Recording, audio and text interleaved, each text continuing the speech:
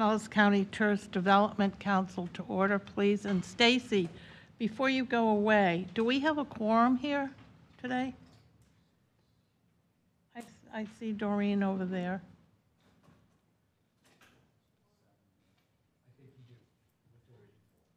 Okay, with Doreen, we have a quorum, so yes, phew, we can, we can get started. I was a little worried there for a minute. Take a bow, Doreen. Take a I saw her, I saw her. She made herself known.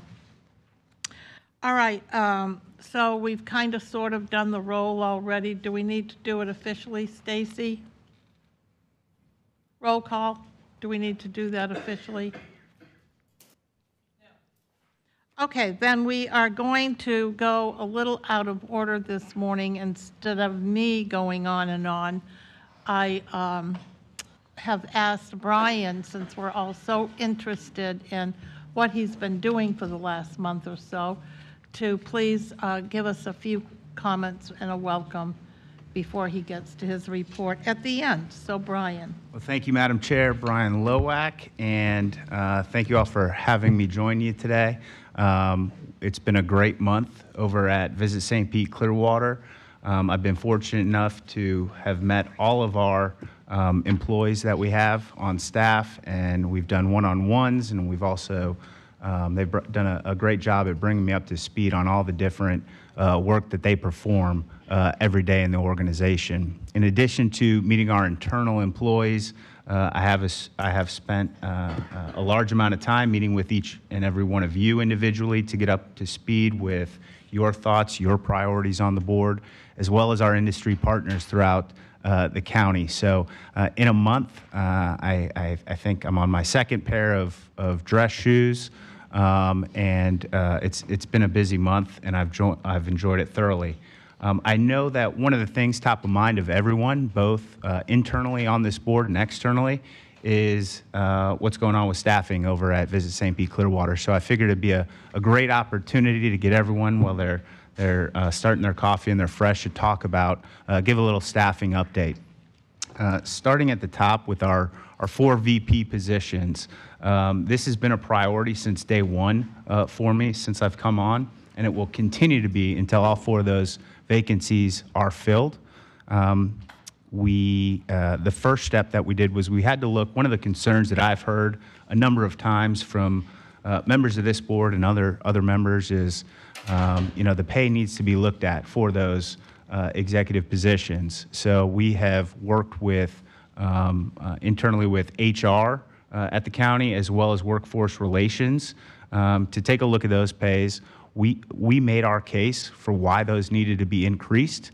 We got everyone in the same room. We, we um, uh, worked out our differences, and we have been able to um, get those pays uh, reclassified to a level that I think is sufficient to get folks in board uh, at those positions. Um, all three of those uh, VP positions were upped to a E30, uh, which is uh, an increase from where they were. And then the CMO positions approved uh, at the C35 level, uh, which um, is, is considerably above those. So I'm confident we've got those adjusted to a level that we can attract top-notch talent and retain top-notch talent. Uh, step two of this was to get uh, recruiters on board um, to make sure that we are uh, marketing uh, these positions to the right people, the top recruits, uh, and, and to cast that net as broad as possible. Uh, we took a little bit of a different approach that I'm excited about. We have retained a recruiter here locally from Pinellas County down in St. Pete, Winter Partners, um, and they are on board. We have our kickoff meeting. The contract is signed. We have our kickoff meeting uh, actually tomorrow, and they're going to be um, taking care of the search for the um, uh, VP of Community Engagement and uh, the timeline, the conceptual timeline that they've provided to me um, between tomorrow and when we have someone in the door is 80 days. After looking at that timeline, I do think that um, there's an opportunity uh, to move faster, um, but I would rather uh, set the expectation at 80 days as they have, and then when we deliver sooner than that, um, uh, it'll look favorable. Uh, As far as the CMO position is concerned, we went, uh, we are communicating with Searchwide Global uh, which is the preeminent firm for these types of positions in the searches. We'll be meeting with them on, on next Monday, and we're close to uh, bringing them on board uh, to begin that CMO process. The last VP um, is VP of, um, VP of, what are we calling it? VP of Business Development over all of our sales. Um, Depending on, on what we see uh, from those other two searches, we'll determine who we use for that. Uh, If we need to use a firm, uh, If so, which one we'll use. And we want to make sure, again, as we do this, um, depending on the um, applicants that we attract, want to make sure that we're in the right ballpark uh, with the package that we're offering. In addition to that, uh, we have hired a firm uh, to conduct a, uh, do a study on our pay, uh, specifically for those four P- VP positions and our 12 department leads. Again, to compare us against uh, other organizations doing the same thing to make sure uh, that we are attractive and competitive um, for our leadership pay. Um, that's what we've done. That's kind of set us up for where we are uh, now um, and what's on the horizon. I do, uh, you'll notice I talked about three VP positions there, um, and there's actually four. Um, I left that for last uh, because I am excited to announce uh, to this board, uh, as I did to our staff yesterday at our staff meeting, uh, that the VP of Finance and Administration, um, uh, we filled that uh, and announced it yesterday with, fr- with an internal um, promotion of Terry Tuxhorn, who's been with our organization for a number of years. Terry's joining us today, and I hope that you can join me in welcoming him. Uh, In addition to those four VP positions, uh, we we also had some uh, vacancies uh, within the departments, Um, and uh, we have hired, since your last meeting in May, there have been five hires for staff, because in addition to getting those VP positions filled, it's incredibly important to provide those individual departments and their leads with support um, on the work that they do and they focus on. Uh, So I have asked um, our new employees that we've brought on since May to join us here, and they are here uh, um, behind you or in front of you in the crowd. Um, But I will go through the list and ask them to stand and and be recognized. In digital and communications, we have Bailey Carlson, and she's doing our content and communication coordination.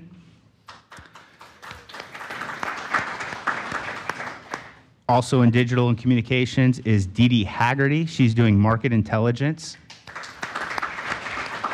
And Dee Dee, we actually were able to lure her over from uh, economic development. And so um, uh, we, we were doing some back and forth there, but we're glad to have her on board.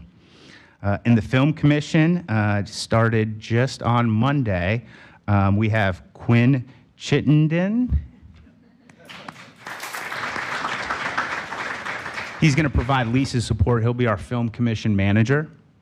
And in meetings and conferences, Christine D'Amato, she's going to be doing meeting and conference business specialist. She's She's also joining us. She has uh, extensive experience um, throughout the um, county government, uh, most recently with the clerk's office. And last but not least, we have in advertising and promotions, Ken Chambers, who's our warehouse and shipping specialist.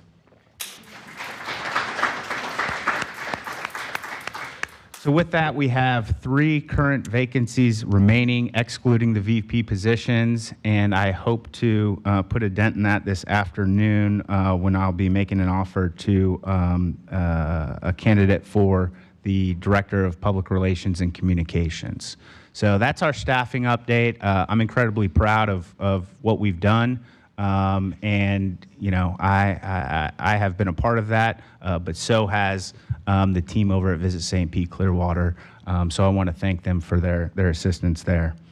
Um, with that, I'm happy to answer any questions that you've got related to staffing. Um, any discussion? Anybody? Yes. Uh, Thank you, Commissioner. Um, Brian, nice, uh, nice presentation, and uh, congratulations on a, a very successful uh, first 30 days, 40 days in the, uh, in the role. Um, glad to hear that you've got a proactive strategy underway. Um, Can you share with us the, the overall strategy for filling the CEO and president position down the road? Well, um, that is not something that I have been focused on, but I see Kevin making his way up to the front of the room, and I believe he's going to help you out there. Great, thank you. Good morning, Kevin Knutson, Assistant County Administrator. and Morning. Barry Burton sends his um, regrets that he couldn't make it. He wanted to be here today, but he's actually on vacation, so he sent me instead. Yes. So the answer to your question is, we have engaged Searchwide Global. They are already beginning the process. Kelly Henderson is our lead, and I'm working directly with her. Barry's involved in that process. But we're taking a longer time to do this than we normally would for a couple of different reasons. The first one is, is we wanted to make sure that Brian and myself really dug into what was going on within the organization, what skills we had there, the talent that was already present, make sure that we make good decisions about the staffing that we need today to, to deliver on our services. The second one is, we finished the strategic plan, but it was never rolled out. And so we want an opportunity to finish that, get that up and running, have a work plan for the new president and CEO when they walk in the door so that it's already ready to go for them. And the third reason was, is we want to give a chance to Brian to evaluate his performance in this role as well. So we'll be rolling out probably around September, uh, the search to get that moving, to try to close it before the end of the year.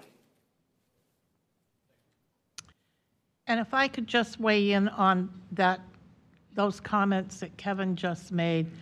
You know, whenever you have a big vacancy like this has created in our, in our county and in our region and throughout the state, I, I think it's very important to use the opportunity to take a big, wide, big, broader vision of, it, can we take five minutes or 10 to look around and see what be- best practices are throughout this industry? And are we being the best, are we setting ourselves up to be the very best that we can be? And so I have charged myself and my staff to help Brian do some research on that issue. And it's uh, been a, quite an interesting process to see what some of the best practices are for an organization such as ourselves. And I look forward very much to working with Brian and county leadership to lay this out for all of you in the next 30 days. I think you'll find it intriguing and worth a very big, broad discussion. So with that said, thank you, Kevin. I don't see anyone else with their hands raised for not, any more questions. Commissioner? Yes, I should have not been so presumptuous. Thank you. Um, uh, it- I I think it's a great strategy, and uh, glad that there's um, a pause to look around and just make sure we're doing, um, uh, have great practices in place and can learn from others.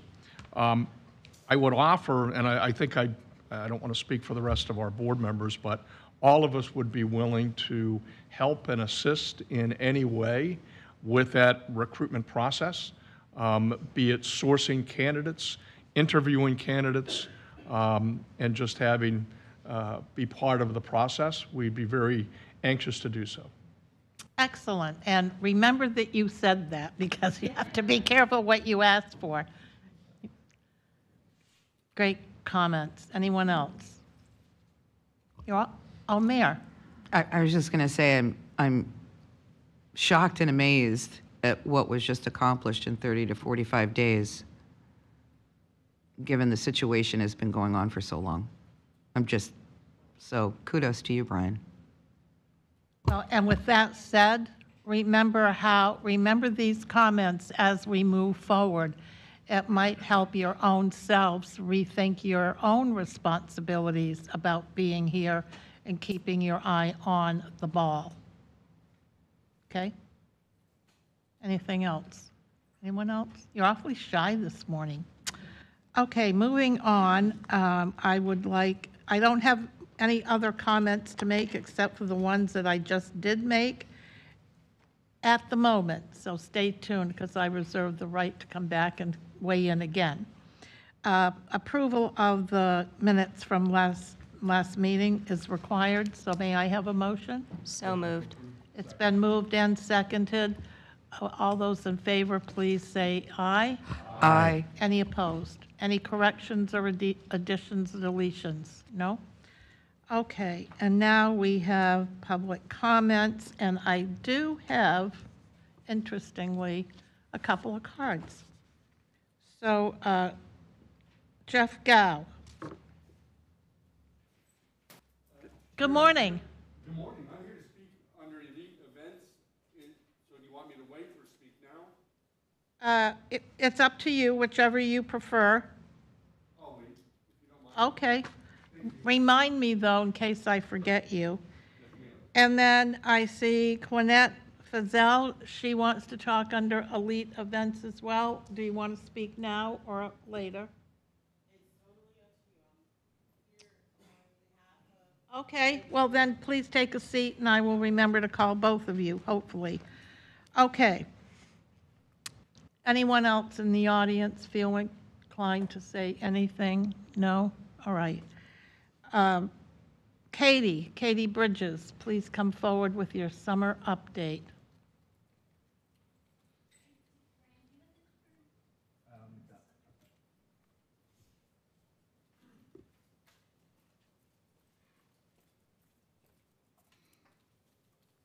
Good morning. Morning. Good morning. I wanted to share with you um, just a recap of what we have going on for our summer advertising and share with you some of the creative that we're running. I had presented to you in April uh, a bit of our marketing strategy and what the plan was. So I won't dive, dive into it too much, just a, a recap. Um, again, our marketing objectives are always to build awareness and intent to visit the destination. We want to drive visitation, heads and beds, um, and increase that visitor spend um, and that length of stay in the destination and the awareness of uh, what our destination is all about from arts and culture to our beaches to our diverse culture um, to have people come and enjoy and, and stay and come back.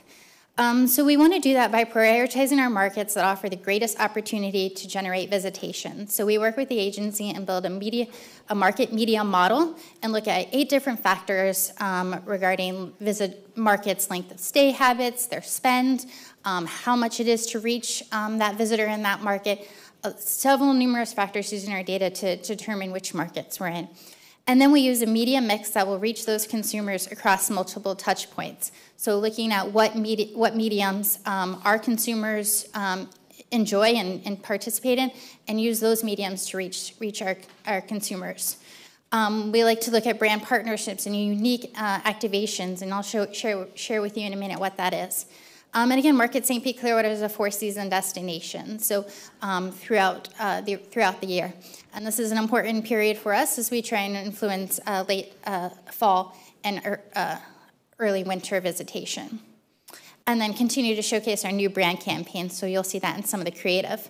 So um, I just share with you those, those markets. So we've divided into our developmental markets and maintenance markets, and that's um, determined based on uh, what we see in those markets and where um, what med- what mediums we need to use to reach that visitation those visitors. So maintenance markets are usually our in-state; they're more familiar with us, but we need to be in those markets to continue to share our message and what we have to offer and keep keep top of mind. Um, and then our development are usually our, our out-of-state markets. There's great growth opportunity. They're less aware and familiar with the destination, so we need to reach them with different mediums um, to get them more uh, familiar and aware of what we have to offer. And low, low repeat visitation with our uh, developmental markets. So those markets are Chicago, Atlanta, Indianapolis, Minneapolis, and Detroit are our developmental markets. So they're tier one, um, and we reach those. You'll see the difference in those is is cable um, we are using a, a, cable in those developmental markets. And then our maintenance markets, Orlando, Jacksonville, Tampa, St. Pete, Nashville, and Cincinnati. Um, when we look at our audience and who we're trying to reach, um, we look at several different factors. One is, is, our visitor profile, who is actually coming here right now. And then we look at our um, vibrancy. So, um, you know, we created a, a, study to determine our visitors and what they enjoy about um, our destination and all centers around vibrancy. And so um, how we determine who we're going to reach is they, and they agree with these factors uh, fun, variety, curious, excitement. And so we know those are the, the type of people, uh, consumers we're looking to meet. They also have an interest in beach and arts and culture, likely to travel to Florida on vacation, household income over 100,000, and they fit into that adults 25 to 65 range. So this is the kind of the parameters that we look when we determine which media we're going to buy. And then when we uh, look at our arts, uh, ways to reach arts consumers, um, it's very similar. They, they meet our, our, um, our leisure core audience, but they have a couple other different, um, different um, traits about them, um, and we use that to determine our media for our arts campaigns. So um, just a general overview of the media consumption. So we are focusing on magazine, radio, television, out of home, social media, and internet, and in different varying degrees throughout our plan. So, um, unless I'm not going to go through because I shared kind of our tactics last, but we're doing broadcast television. And uh, here is, um, I'm going to share with you two of the spots that we have running. Um, Let's make every day a beach day. Let's induce some serious vacation envy.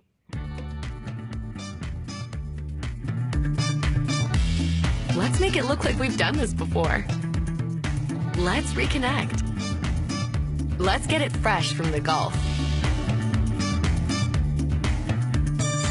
Let's shine in St. Pete Clearwater. So that's one of our 30 second spots, and you can see it combines beach, arts, um, diversity, culture. Um, that was shot last year. And then we have a second spot that we're running. Let's get away for a while. Let's wander off the beaten path and go out a little further. Let's get lost in the possibilities and lose track of time. Let's make a great escape even better. Let's shine in St. Pete, Clearwater, Florida.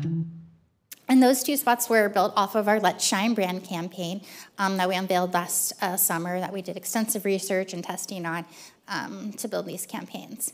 Um, secondly, is our radio. So we have some uh, a, a, large radio um, promotion going on uh, in our developmental and our maintenance markets, um, and we, have got a couple two spots, um, and I'm excited to share those with you next.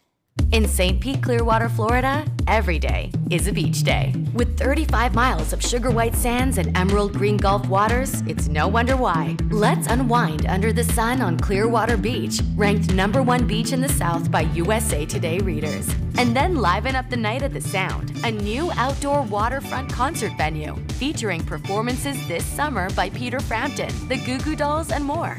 Let's shine. Plan your getaway at visitstpeteclearwater.com.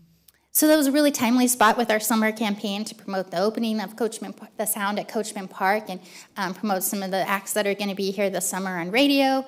Um, and I think only one played, um, but the other is is, is, is in St. Pete, Clearwater, Florida.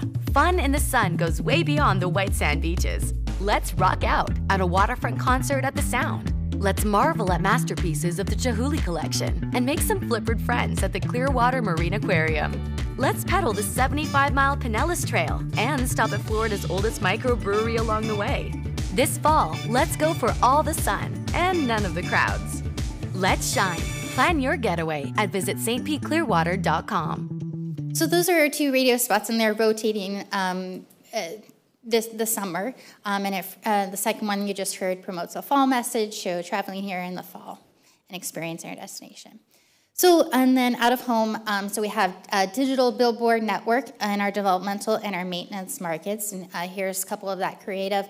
Um, let's get away for a while, let's unwind, let's marvel. And uh, so those are bright billboards um, as we're traveling along the interstate. And again, reaching those people in different uh, experiences throughout their day. Um, because as we consumers know, it's important to see that message throughout, and it just can't be, you know, a single message. It needs to be throughout for it to really resonate with people. And then here's another out-of-home initiative is our gas station TVs. And this is also in our developmental and air maintenance market. And this is a 30-second spot with audio. Um, and these are really captivating when you're standing there. There's really not much you can do um, except pump your gas and watch uh, these stations. And actually, I've got that spot here coming in a second. And then we have some digital EV charging stations, and those are in our developmental markets. Again, a captive audience.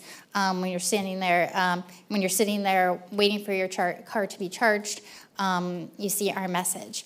And so um, the, the, creative on this is promoting our uh, initiative called From Playlist to Playtime, our Beach Day Beats. So we um, as a team developed a playlist of uh, songs that people can use to escape the everyday and experience St. Pete Clearwater. Um, and so we are promoting it on our website um, and sharing it on social. Um, it's a great engagement piece. Um, and we're using that as the creative for uh, the gas station TV. So here's uh, the spot. I'm promoting the playlist. Scan the code to enjoy our Beach Day Beats playlist. Let's chill out. Let's enjoy some beach vibes. Let's soak up some tunes. Let's make every day a beach day. And then it goes into our uh, 15 second Let's spot. some serious. But um, this is just a really great way to engage our audience uh, with something fun and special um, so they can go to our Spotify, download, and really get into the mood of planning their trip to St. Pete Clearwater. So just another fun way of engaging with our audience. Let's see, uh, with some animation there.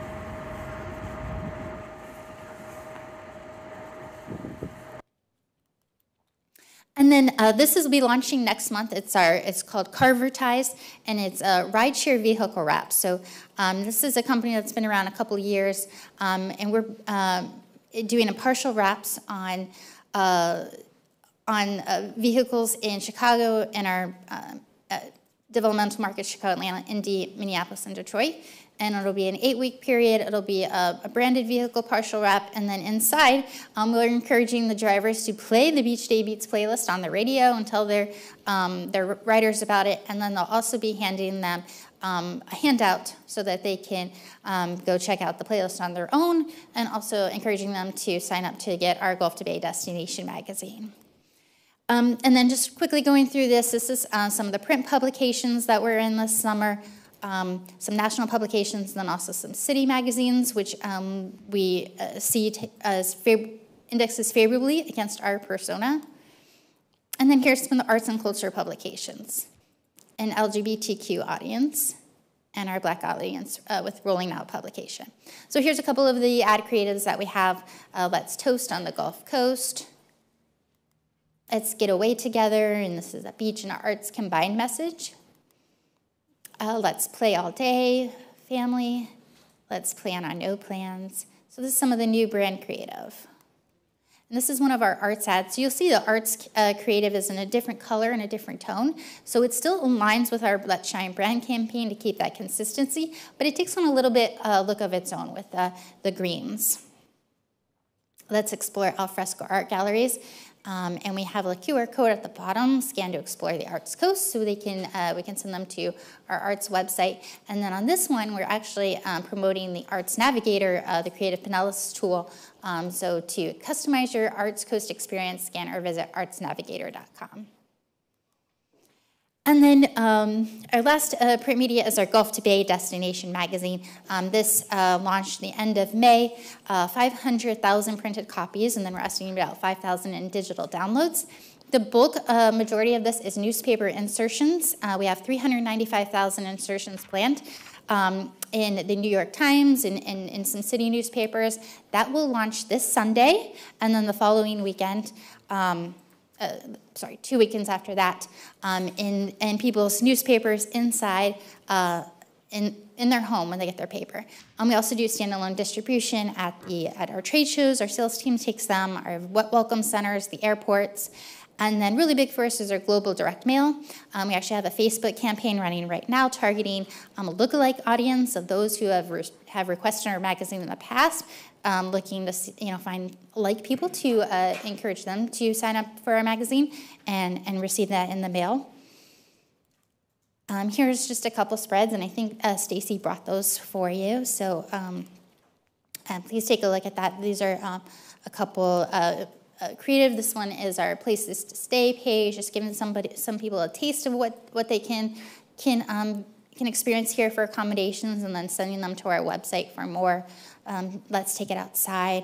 Um, you can see on this, the right-hand column we have our uh, best of, um, which is always really popular section in the magazine, um, and, uh, and our industry partners really get into that as well. Um, and we highlight those on the pages relevant to um, those, those sections. Here's a, a, little sample of our art spread in the magazine. Um, and then I did just want to uh, touch base on the final results of our 2022 Gulf to Bay magazine survey. So inside the magazine, we have a little card um, that's, you know, tell us your feedback for a chance to win a trip. And we get some great response from that. Um, so I'm just sharing a little bit of, so as we finalize the results from last year's magazine before we, you know, put up the survey for this year's magazine, um, we just got a final download, and I just want to share those final results with you. Um, the magazine had a 98% reader satisfaction rating. Um, very satisfied, satis- uh, 77% very satisfied, 21% satisfied. 78% of the readers felt the magazine was very important slash important to their planning process. 79% um, of readers are very likely likely to visit St. Pete Clearwater in the next 12 months, and accommodations, attractions, and dining were the most sought out information. And um, there was a 750 open-ended responses to would you like to share any general feedback about the magazine? And there were some really great responses. Um, and so i just wanted to share a couple of those quotes from you uh, quotes for you from the magazine.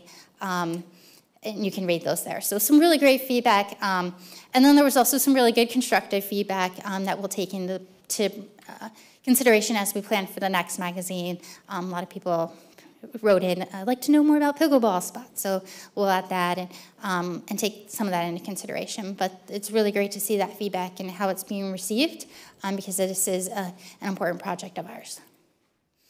And then I just want to touch really quickly, we're working on a, a, like a local influencer series. So influencers, personalities that have created a social following um, about um, the content that they're sharing. Um, and um, I can she follow up with you on some of the results that we've seen so far with our like a local series. This is just a little sampling of Amanda, who um, she is in the she was in the destination last month. She's uh, in a wheelchair, um, and she experienced the destination uh, limitless. Um, with no limits, um, and she produced, produced really great content. And so um, she's just one of the many influencers that we've been working with um, to really showcase the destination and her voice to her followers. And then um, our arts and culture, uh, I mentioned at our meeting and the last time that we partnered uh, with Creative Pinellas and we created this arts and culture co-op program. It was open to all members of the arts community. Um, media selected based on to reach in-market visitors and visitors who have booked a trip. All ads include our partner images, messages within the Visit St. Pete Clearwater Arts template and it was a 50-50 split with our partners. Uh, so we, uh, those are the results from our pilot program. We had 11 participants in the program that purchased 26 products, totaling um, almost 48,000 in revenue. Um, due to some of the commitments with the, the media vendors and maybe some spaces that uh, didn't sell, we did have to um, contribute a little bit more than the 50-50 at a 63,000. So almost $110,000 in media for our Arts and Culture Co-op campaign. Um, the most popular placement was our airport baggage claims at PIE. Um, no surprise there, it's, it's a great uh, placement to reach visitors and market. Um, and uh, we're going to do some um, calls and follow up with some of the participants to understand their feedback so we can help drive improvements as we plan uh, how to grow this program in the future or what's needed. And then last, I just wanted to share, um, uh, Coachman Park, our team was out um, in uh, end of June, um, right before it opened, those two days before it opened, and we brought staff and family and friends out to um, do a photo shoot. So we could have assets that we could um, use to promote the destination and share with our partners. So here's just a sampling of some of the uh, creative um, that our talented team, Jimmy and Marcus, put together. and here is a video.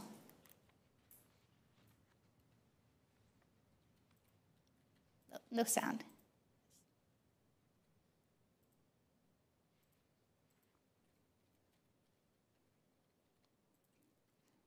There's, there's fun music behind this. Um,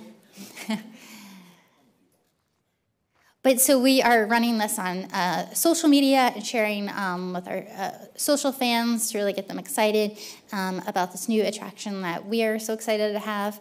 Um, we, I mentioned, uh, you know, working with an influencer. We have an influencer coming in next week. She's attending uh, the Goo Goo Dolls concert on Monday, and Jimmy, our photographer, is going to be out there uh, taking photos and, and really helping to share this wonderful new asset to our community. Um,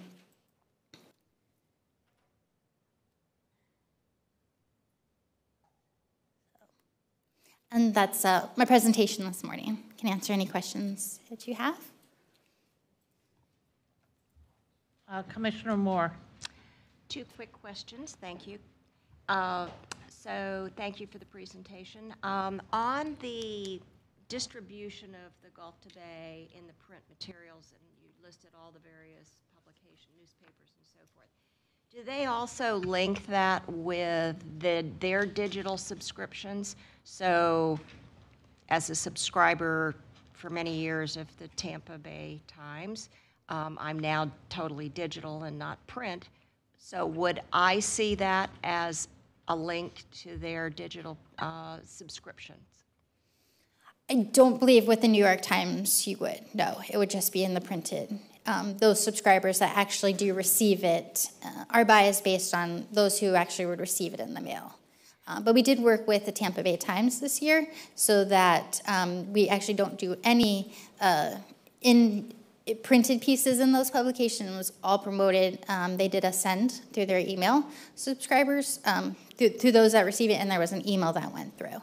So, um, so the Tampa Bay Times, yes, but with the New York Times, no. It was our buy was based on those that receive a hard copy. It just seems to me that people who no longer get print but do subscribe for digital would still link through, and it, it's kind of a simplistic example, but for example, the Parade magazine, if you get the, the digital subscription to the paper, you also can, you know, get the Parade as it's published as a, a you know, digital value, and I just don't know how much that could be pursued, or if, the- if overall, from a marketing, I'm not an expert, so is there value to that? We'll definitely look into it, yes. Thank you. And then, um, in the Creative Pinellas Arts uh, co-op, so to speak, you had 11 participants.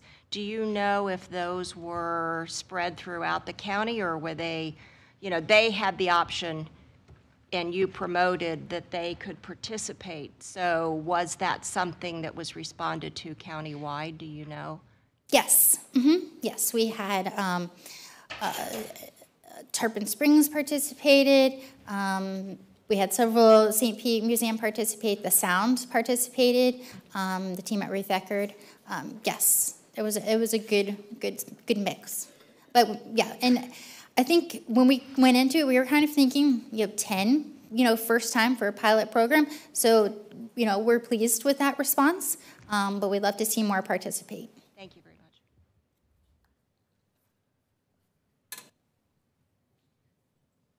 much. Great job. Thank you. And I will just note that um, kudos to Katie uh, for putting this presentation. I know she went through it a little quickly. Um, That's because um, uh, when I saw how many slides it was, I almost had a heart attack. So she did uh, a lot in a little bit uh, of time. And I, I spent the day on Friday with uh, Katie, our digital team, as well as um, our, our team with BVK, and they brought me up to speed on some of the things that go, so, the process that they undergo to consider um, their marketing strategy, and they're getting the ball rolling on our upcoming market strategy. So um, there's a lot uh, that goes on behind the scenes that Katie didn't touch on, but uh, we're proud of her, and um, just want to say thank you. Uh, Commissioner, William, excuse me, Commissioner Williams. Thank you. Katie, great job. Um, As you. always, it's, it's wonderful. Um, Like to see the, uh, the wraps on the vehicles. Um, Was recently in New York City and saw on sides of buses uh, advertising for Washington DC. And when you think about the, the expanse, it's like a moving billboard, side of these buses. Um, In the future, we might consider that as well in some of those key desti, or key feeder cities. Yes, we have done bus advertising years ago when we were in New York City, and you're right, it, it is an impact. Great, thank you. And Commissioner, if I could, just one follow-up question. Um, Brian, I know many of us were at the, uh, the ribbon cutting for Coachman Park. Maybe later on, you might give us an overview and so we can all speak intelligently about it. It's a great, great venue. Thanks. So I would just like to share, Katie, since I learned so much about what you did from your partner Leroy, that recently when I was in London with Global Tampa Bay, there were 16 little tiny smart cars that were wrapped with Visit St. Pete Clearwater. And we did a parade right down through the heart of London. And it stopped traffic and people that were walking on both sides of the, of the street. It was incredible how much that struck everyone to see these little tiny cars that looked like toys. And the most interesting part of it, everybody, every one of us that were on, the- in the delegation, there were 16 of us, we were all riding in those little tiny cars. So it was a lot of fun and really a joy to see that everyone was paying so much attention to it. So it is quite the thing. So thank you. Yes, Yes, and I, obviously I was part of that, and being in the Mini Cooper with the advertising on a drizzly, overcast, cooler day was just perfect timing. Worked well. yes, Mayor. Thank you, Madam Chair. Um, On the uh, Arts Co-op too, um, I went online and I didn't see anything about it, I- and I looked in the co-op area, I know you're already through it. Um, You know, we have several arts organizations in our city, and I'm just curious, how do they, you know, find out what the next thing you're doing is? Sure. Well, we um, shared it through our industry partner update. So um, we want to make sure that they are signed up to get our releases, um, and we can, you know, add them to our, our database. Um, and then we also worked with Creative Pinellas, and they shared it out um, with their audience. Um, so we want to make sure that they're on that that distribution list as well. Okay, thank you. Yes. Thank Good you, Madam morning. Chair. Um, Interesting that Mike brought up New York. That used to be one of our key markets, and we just did something recently up there, um, but it's not in your maintenance or development. Is there a reason why we're not in New York? Well, um, this year we uh, are still kind of focusing on our, our we're on our Midwest markets, which was the pivot that we took during COVID um, when we saw that um, New York was really struggling, and so we really pivoted to to the Midwest markets, and we continued that this year. Um, but it is something that we discussed on Friday um, at our with the team as we put together some strategy um, about how we could go back into New York and what we're seeing with the data. And so that is a discussion that we are having um, because there is some promise there. Anyone else? Uh, Yeah, Mr. Kimball? Katie, um, seeing that this is the summertime, September 30th is the end of the year, uh, give us a little update on the next ad campaign and the length of time that this is going to be running and what the future, the next year is going to be. Are you already working on it? Uh, And how long that lasts and all? Sure. Well, uh, this campaign will, will yes, we'll go through the end of September. That's how we can have it, have it budgeted. Um, and we are meeting with the agency right now. We met last week, uh, kind of our pre-planning to talk, discuss strategy. Um, that was following our agent, big agency meeting that we had in May to really talk about kind of those markets and what we're seeing with the data um, and how um, you know some other commitments that we're looking at. Um, and then we have this period is really our, our planning. Um, we had talked about maybe coming back in August and presenting a little bit of that strategy to you guys. And then in September, um, present some of those tactics, more of those uh, key things that we're doing. Um, so, so yes, we have, we've got a lot of fun ideas we're thinking about and, and ways that we can reach, um, reach our audience. But um, it's all, all in motion, yes. And, and one thing I also wanted to add is uh, we do an advertising effectiveness study, and I think I've shared that with you. Um, think our team shared that with you maybe uh, last uh, September about our, our winter campaign. So, so a couple things. One, we have an advertising effectiveness study going on right now, um, fielding for our campaign that just uh, for our winter campaign. And then we have plans to launch another advertising effectiveness study for this campaign that we have running right now. And we'll share those results. So, um, so yes, we have a lot of uh, research and data we're going on, and we're in the process of planning. So Katie, as someone who used to place the kind of ads that we do, I'm a little concerned about whether or not you're looking at the cable, the buys, the t- television buys for the late fall and winter, because aren't those usually done really far out? Yes, and that's something we, yeah, we talked about last week. Um, it's, it, yes, usually it's about 45 to 60 days uh, for a lot of um, placing that by. So yes, it is important that some of those um, early deadlines the team is already looking at. Um, and so we can get commitments on those, especially some like the national print publications. Um, another thing is that we've looked at is Visit Florida.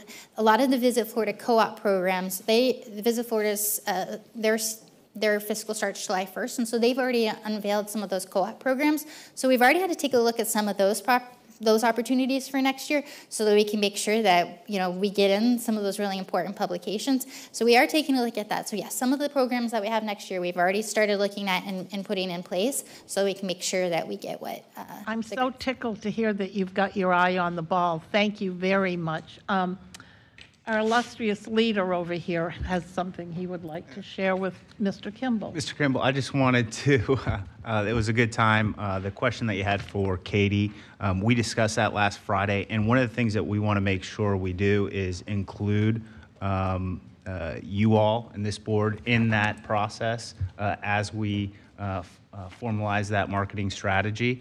Um, so as they put that together, they're in the initial steps now. Um, we plan, we're, we're shooting for next month to come back to you with kind of our initial thoughts, the direction that we're going, and we want uh, your input on that too um, before we finalize that plan moving forward. We want to make sure you're included in the process and you don't just get an update on what we did. Uh, Brian, um, as I sit here and watch it, um, I would say uh, we need to be also looking at, as was just brought up about New York, markets that were key markets in the past that we have not used in the last few years. And that consideration, what are those?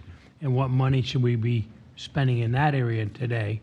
And then also, um, I'm not sure where it goes, but the European and the uh, Canadian market, I think we need, and in South America, I think we need an update on what we're doing to market that for '24. Very good points. Thank you. Anyone else over here? Mr. Henderson, you're awfully quiet this morning. It's not like you. I've been accused of talking too much, so I thought I'd take a break today. Okay, just making sure. Thank you. Thank you, Katie.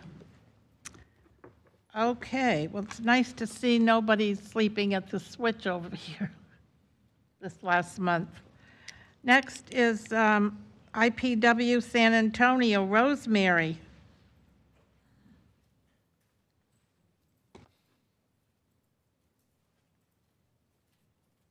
Good morning. Good morning. Thank you, Madam Chair. Uh, My name is Rosemary Payne. I'm the Director of Leisure Travel, and I am joined this morning by Andrea Gable, the Latin America Senior Sales Manager. Good morning, everyone. Morning. And we are here to present an overview of IPW 2023, which was held in San Antonio, Texas, May 20th through the 25th. We wanted to start by showing you some images of the very impressive aisle Visit St. Pete Clearwater and partners shared during the three-day appointment show. As you can see, our area was completely themed with our Let's Shine brand messaging and newest destination images across the 120 square foot section. Taking appointments for Visit St. Pete Clearwater were Jane Brooke from our UK, Ireland, and Scandinavia office, Axel Kaus from our Central European office, Andrea and Jose Ramirez from our Latin America department, and myself. We even had Liz McCann on hand to act as a booth concierge to welcome our clients and direct them to their appointments. Also attending was Visit St. Pete Clearwater's president and CEO and Commissioner Long.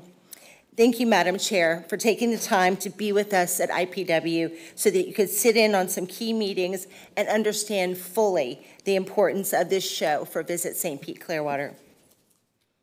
Visit St. Pete Clearwater also had five partners join us in our aisle, and they each had their own individual workspace and appointments. The decor was bright and welcoming and is always a favorite on the show floor. Clients are always complimenting us for making IPW feel like they are at the beach. And speaking of the beach, this year we even brought in some water and a sandy shore for our photo op lounge. Here, customers could snap a picture perfect St. Pete Clearwater Beach Day right in the heart of Texas. In our presentation today, you'll see several images of the photo op lounge in action. It was a very busy and eye-catching setup for customers and colleagues to visit throughout the show. And I didn't have it in my notes, but I would really like to thank Katie and um, Carmen from BVK. They were so instrumental in making our booth what it was. So thank you, as always, for your efforts in making us really shine at IPW this year. So getting down to some details from the show, IPW is U.S. Travel's largest tour operator show in the USA. There are over 6,000 attendees, and Visit St. Pete Clearwater had 179 scheduled meetings with domestic and international buyers and media from across all key markets. VSPC also had an exclusive meeting with Brand USA to discuss current and future marketing initiatives, and our PR rep met with additional media in the media marketplace. Visit St. Pete Clearwater also hosted a client reception in the booth at the close of the show. Nan Marchand Beauvois from U.S. Travel Association even stopped by to meet with Commissioner Long to give an overview of IPW. Buyers that attend IPW bring in thousands of room nights annually to Pinellas County, and this show provides a platform to discuss increased business opportunities to grow market share from these key clients. Five hotel partners I mentioned joined us in our aisle. They were Sheraton Sand Key, Tradewinds Island Resorts, Belmar Beach Resort, Marriott Suites Sand Key, and the Holiday Inn Harborside. Of course, we have tons of notes from our meetings, but here are a few key takeaways from our international markets. From Canada, demand for Florida is still strong, and we are very, very excited about WestJet's purchase of Sunwing and Sunwing Vacations.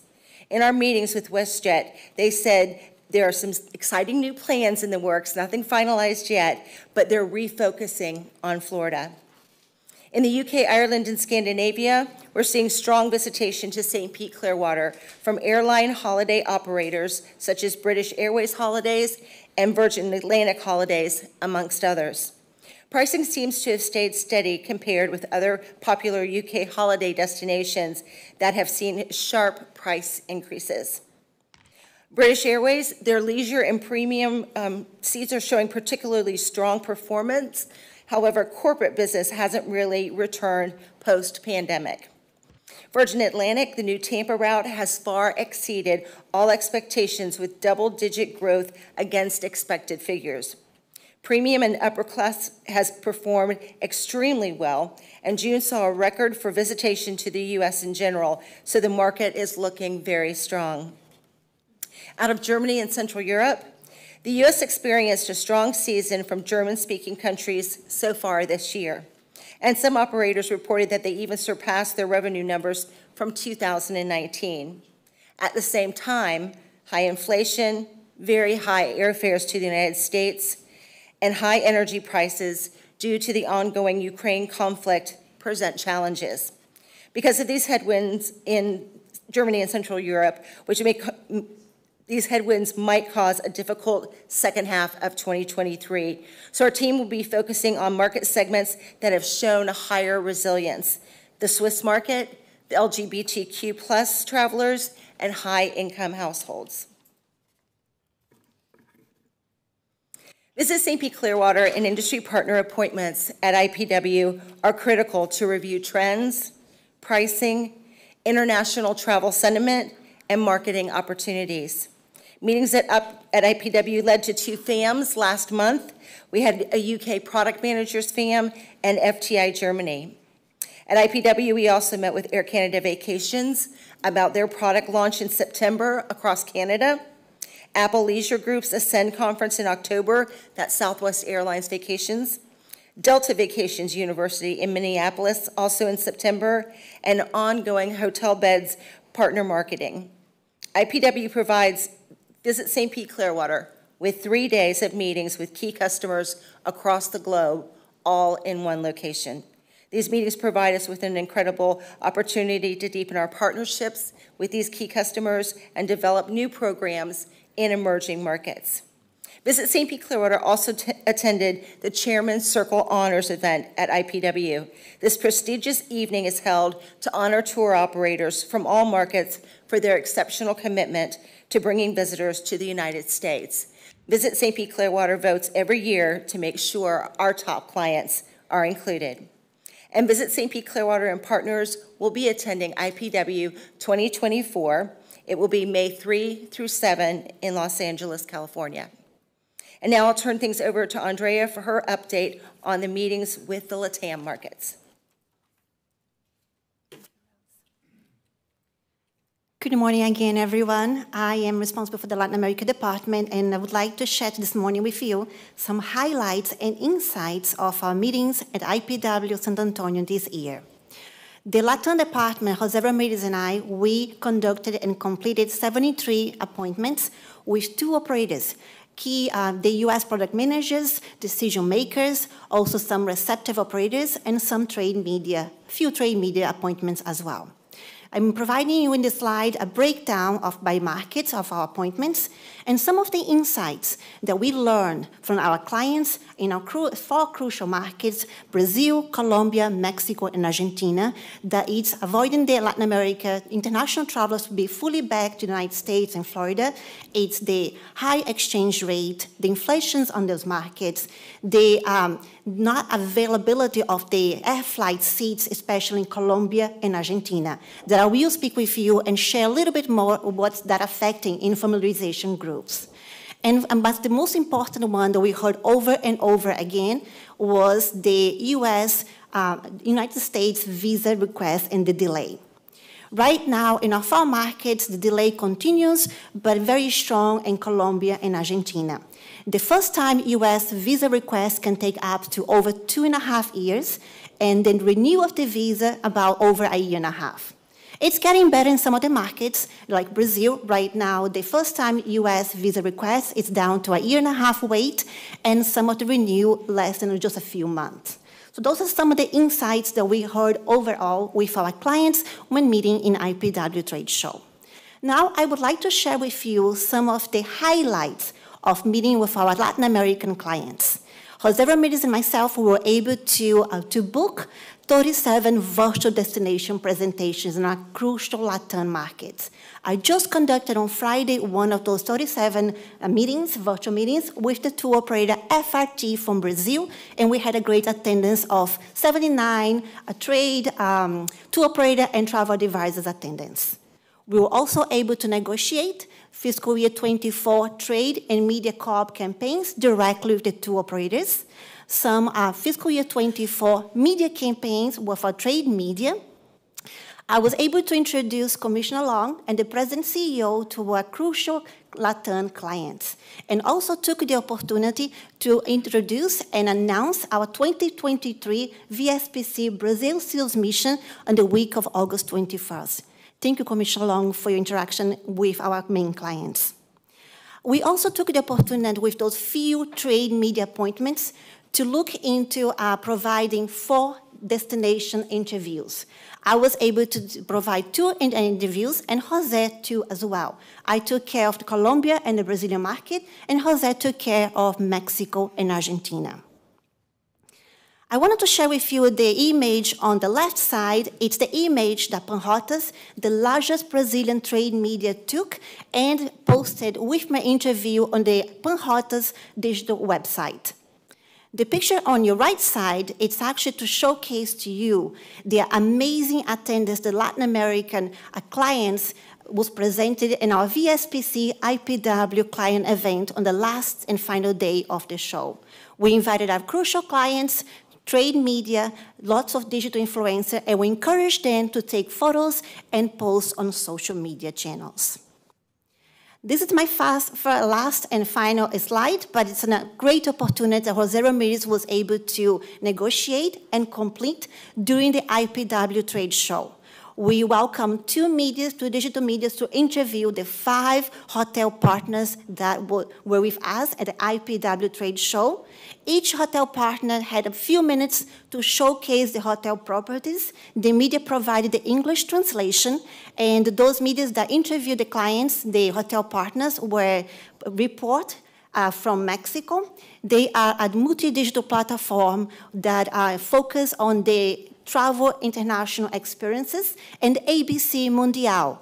It's an Argentina multi-channel digital platform with over 1.1 million of YouTube views and 454,000 of subscribers.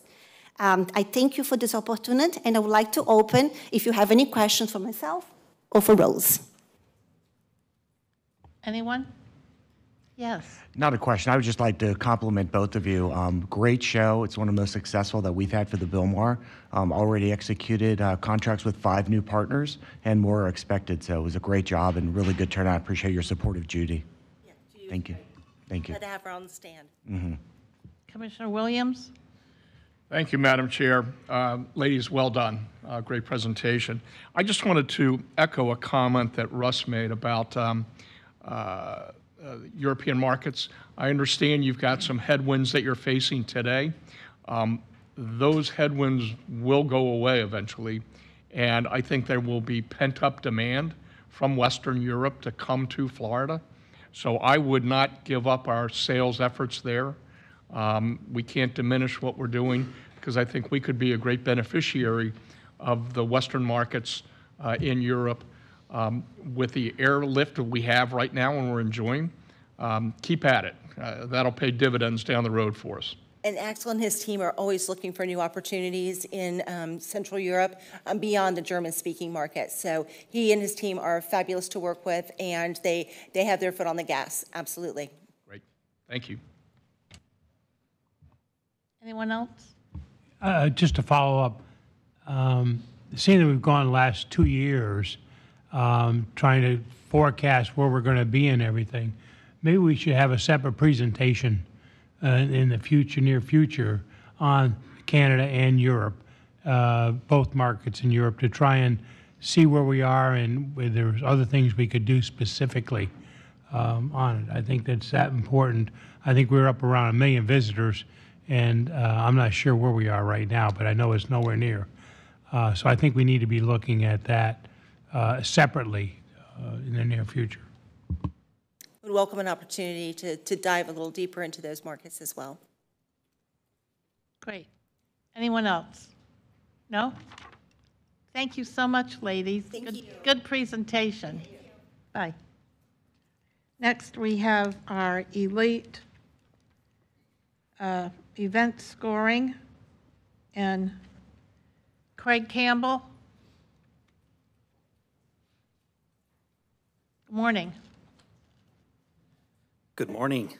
Thank you, Madam Chair, for the introduction. Thank you, Brian, for the opportunity.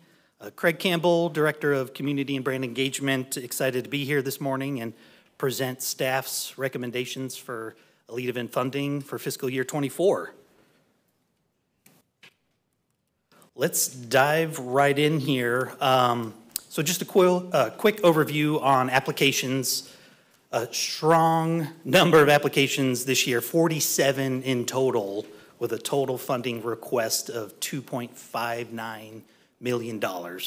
Um, Out of those 47 applications, eight were declared ineligible or withdrew after the application, so 39 uh, applications were actually reviewed and scored.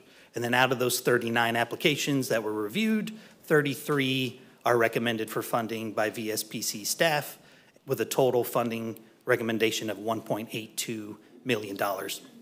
I did want to highlight here um, kind of the trajectory of the program and show you kind of the growth, not only of the number of events, but the num- just the sheer volume of interest in the program. So to go from 20 events, uh, 20 applications two years ago to 47, I mean, massive increase there.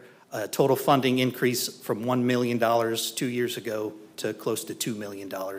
Um, Again, just uh, tremendous growth there. Um, As far as materials go, uh, each of you should have a packet, contains three documents. Uh, The first of which is a memo from Michael Zoss, really does a great job of kind of setting the stage here for the conversation and discussion today. Thank you, Michael, for putting that together.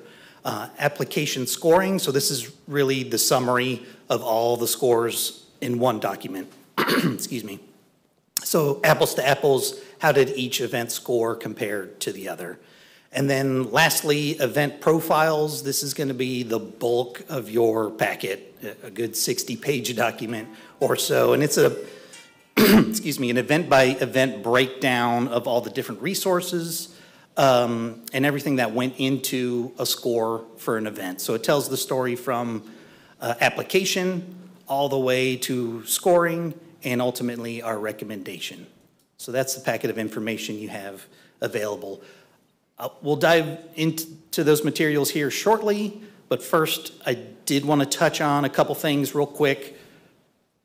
Firstly, the committee, who was looking at these applications and scoring um, these events. So from a VSPC staff standpoint, Terry Tuxhorn, um, Finance, Administration, Katie Bridges from a marketing advertising standpoint, Eddie Kirch, digital and data, and then myself from a sponsorship and activation standpoint. Uh, a key, two key pieces of the puzzle here were bringing in our consultants. So BVK, our agency of record, really leaned on them to provide us with those media valuations and destination analysts. Uh, they've been out surveying at these events for four or five years. We have a wealth of data, so we certainly want to take advantage of all that information um, that's available to us. So priority-wise, what were we kind of looking for here? So firstly, uh, applications reviewed on their face. So we did not accept any changes after that organizer submitted their application. We reinforced this point in a public information webinar in early March. It was a real point of emphasis where you have one chance to submit your application, put your best foot forward, and we'll, we'll see how the results turn out. Uh, but we did not accept any changes after March 31st. And then that would help ensure a uniform and consistent review process. So uh, truly, those two things would help keep a fair and even playing, uh, playing field for all the applicants. Now, what were we looking for from a criteria standpoint, and how did we score these events? So, uh, for those of you who have participated in the TDC review committee in the past, this will look familiar. Instead of a thousand point system, we chopped off a zero and it's a hundred point system. But still, the the percentage is still the same, 70% or higher, and that will result in a funding recommendation. Um, the breakdown of the 100 points. So uh, 50 points we allocated for event history. So that's when we're looking at all those DA reports, all the history, uh, the methodology that um, would help kind of verify and validate the projections that these organizers are, are giving us. Um, so that's 50 points. 40 points we allocated to marketing and sponsorship. So that's where BVK's valuations came into play. Um, kind of the two key metrics we looked at were cost per attendee and an ROI index. So um, really how expensive is this event to sponsor? And then what sort of return on investment would this event generate? So in the packets, you'll see sort of some, some boxes there that highlight those scores. Um, the ROI index, just so you know, um, a score of a 100 there, or an index of 100 there, is a one-to-one return on investment. So anything below 100 is a negative investment, and anything above 100 would be a, a positive ROI. And then lastly, the final 10 points, other considerations, um, we took into uh, consideration here whether the event was peak season or non-peak season. Did this event conflict with other events within the community on that weekend? and then what sort of charitable contributions uh, the event organizer provided as well. So coming back to the recommendations here. Um, 47 applications, eight declared ineligible or withdrawn. So we reviewed 39 uh, applications that were eligible for consideration. And again, 33 applications recommended for funding, the total funding amount $1.82 million. Reminder, the budget is $2 million. I do not um, anticipate going through each application with you, but there are a handful that I want to flag and discuss. So uh, numbers, so if we could actually look through the application scoring documents, the three-pager, and numbers nine and 15, you'll see are highlighted in red. We'll come back to those in just a moment. I want to keep going down to the bottom of page two of that document, numbers 30 through 33. So number 30, St. Pete Pier Live, funding request of $75,000. That is a new event, so per the guidelines, that funding is capped at $15,000. So that's our recommendation there. Uh, number 31 and 32, St. Pete Pride and Baystar Clearwater Offshore Nationals. Both events requested funding at 150,000. That's a category one request, which requires a broadcast component. Uh, neither application provided details on what that broadcast component would look like.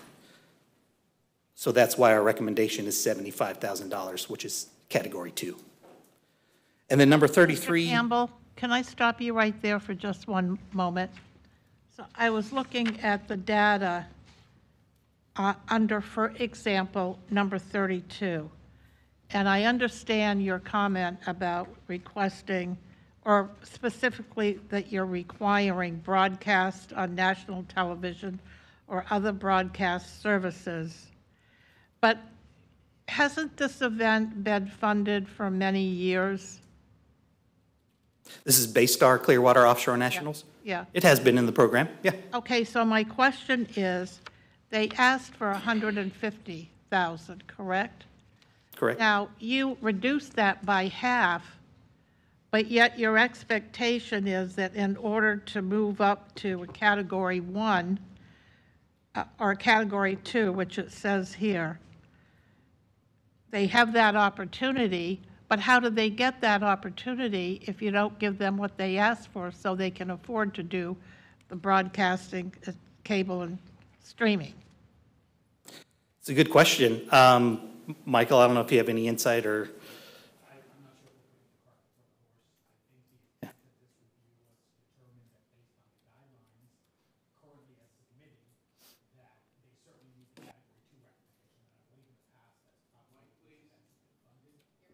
Sorry, I believe that's what these events have been funded at. Um, What staff was trying to recognize was, at this point, recommend the Category 2 funding with the opportunity, because it's so early for some of these events to be able to um, specify exactly what kind of broadcast services they've got in line, to have staff, they can submit those to staff, staff can take that to the BCC at some point and determine whether or not that bumps them up to a Category 1 because the whole point of Category 1 events was initially it was national broadcast. As streaming platforms have grown, um, we've expanded the guidelines to recognize that some of these things are not necessarily shown on television, but do have a wide international audience and national audience otherwise. So that was the whole point of this, is to now, they're not precluded from possibly being a Category 1, it's just right now there's not enough data. So for purposes of now, it's a recommendation of a 2, which they certainly meet, and I believe is in, in um, what they've received in the past. And then with the opportunities at some point, it'll be incumbent upon them to submit that and then have the TD, I mean, excuse me, the BCC review that. So just to clarify, what I think I'm hearing you say is if between now and then they come back with their plan for how they're going to do television broadcasting and streaming, then we will uh, revisit and recommend giving them what they asked for, so they can accomplish what we want them to accomplish, right? Correct. Okay, thank you so much. Madam Chair, if I may chime in. Uh, As many as you know, I was involved in this event in the past. I am no longer officially involved. When my wife unfortunately was dying of brain cancer in 17 and 18, I was a full-time caregiver, and I stopped everything. So I'm not involved, but it is an important event to the city of Clearwater. Now, Mr. Chavez has brought to my attention that he does have MAV TV, which is a motorsports, and a water sports TV, which is on Hulu, Spectrum, Frontier, DirecTV, Vidgo, YouTube, YouTube TV, Fubo, FiOS, Suddenlink, Uverse, Extreme, and Altice. So basically, they have national coverage now. So he, uh, because he didn't have that initially, is he allowed now to bring that forward to get additional funding? Yeah, if, and if you look in um, Michael Zoss's memo, it- it basically explicitly says that. Yes, we will consider that. Once we get the information, we'll look at it and. You can bring that forward to you. Okay. Correct. All right, I just wanted to clarify Com- that, because it's an important event to the city of Clearwater now that I'm mayor. I'm no longer involved directly with the event. I know, as the I used mayor- to go to it with you. Yes. And my Anyway, so- grandson. Anyway, okay, Yeah. thank you. Uh, Commissioner Henderson and then uh, Commissioner Kimball. Mr. Mayor, are all those, you listed, is that where they're being advertised, or that's where going to be, the event's going to be televised? No, it's going to be a televised event on MAV TV with- with clarify that that. coverage. Perfect, great. And I, I know because the, the gentleman that contacted Mr. Chavez used to work for the city of Clearwater, Sean Stafford, and he looped me in after he talked to Mr. Chavez. Sean used to be our, our video guy that did- did meetings like this, and he now works for Lucas Sports, which owns MAV TV. So he, he contacted me recently and said that we're going to do that for Mr. Chavez and for the event, so. Commissioner Kimball? So, uh, Michael, uh, on this one here, can we approve it at this meeting with the other ones for $150,000 as long, as- and without having to go to the Board of County Commission? We recommended it, now changed to 150,000 if this condition is met uh, before it's presented?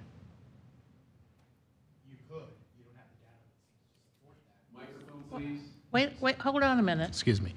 Based on the data submitted, you don't have the support for that, but you could recommend that. we could recommend it, as long as that condition is met. So when it goes to the Board of County Commission, the TDC has recommended the $150,000. I think we're saying the same thing, yes. Okay, thank you. Ultimately. Okay? All right, well, since we're on this item, does anyone want to make a motion to that effect?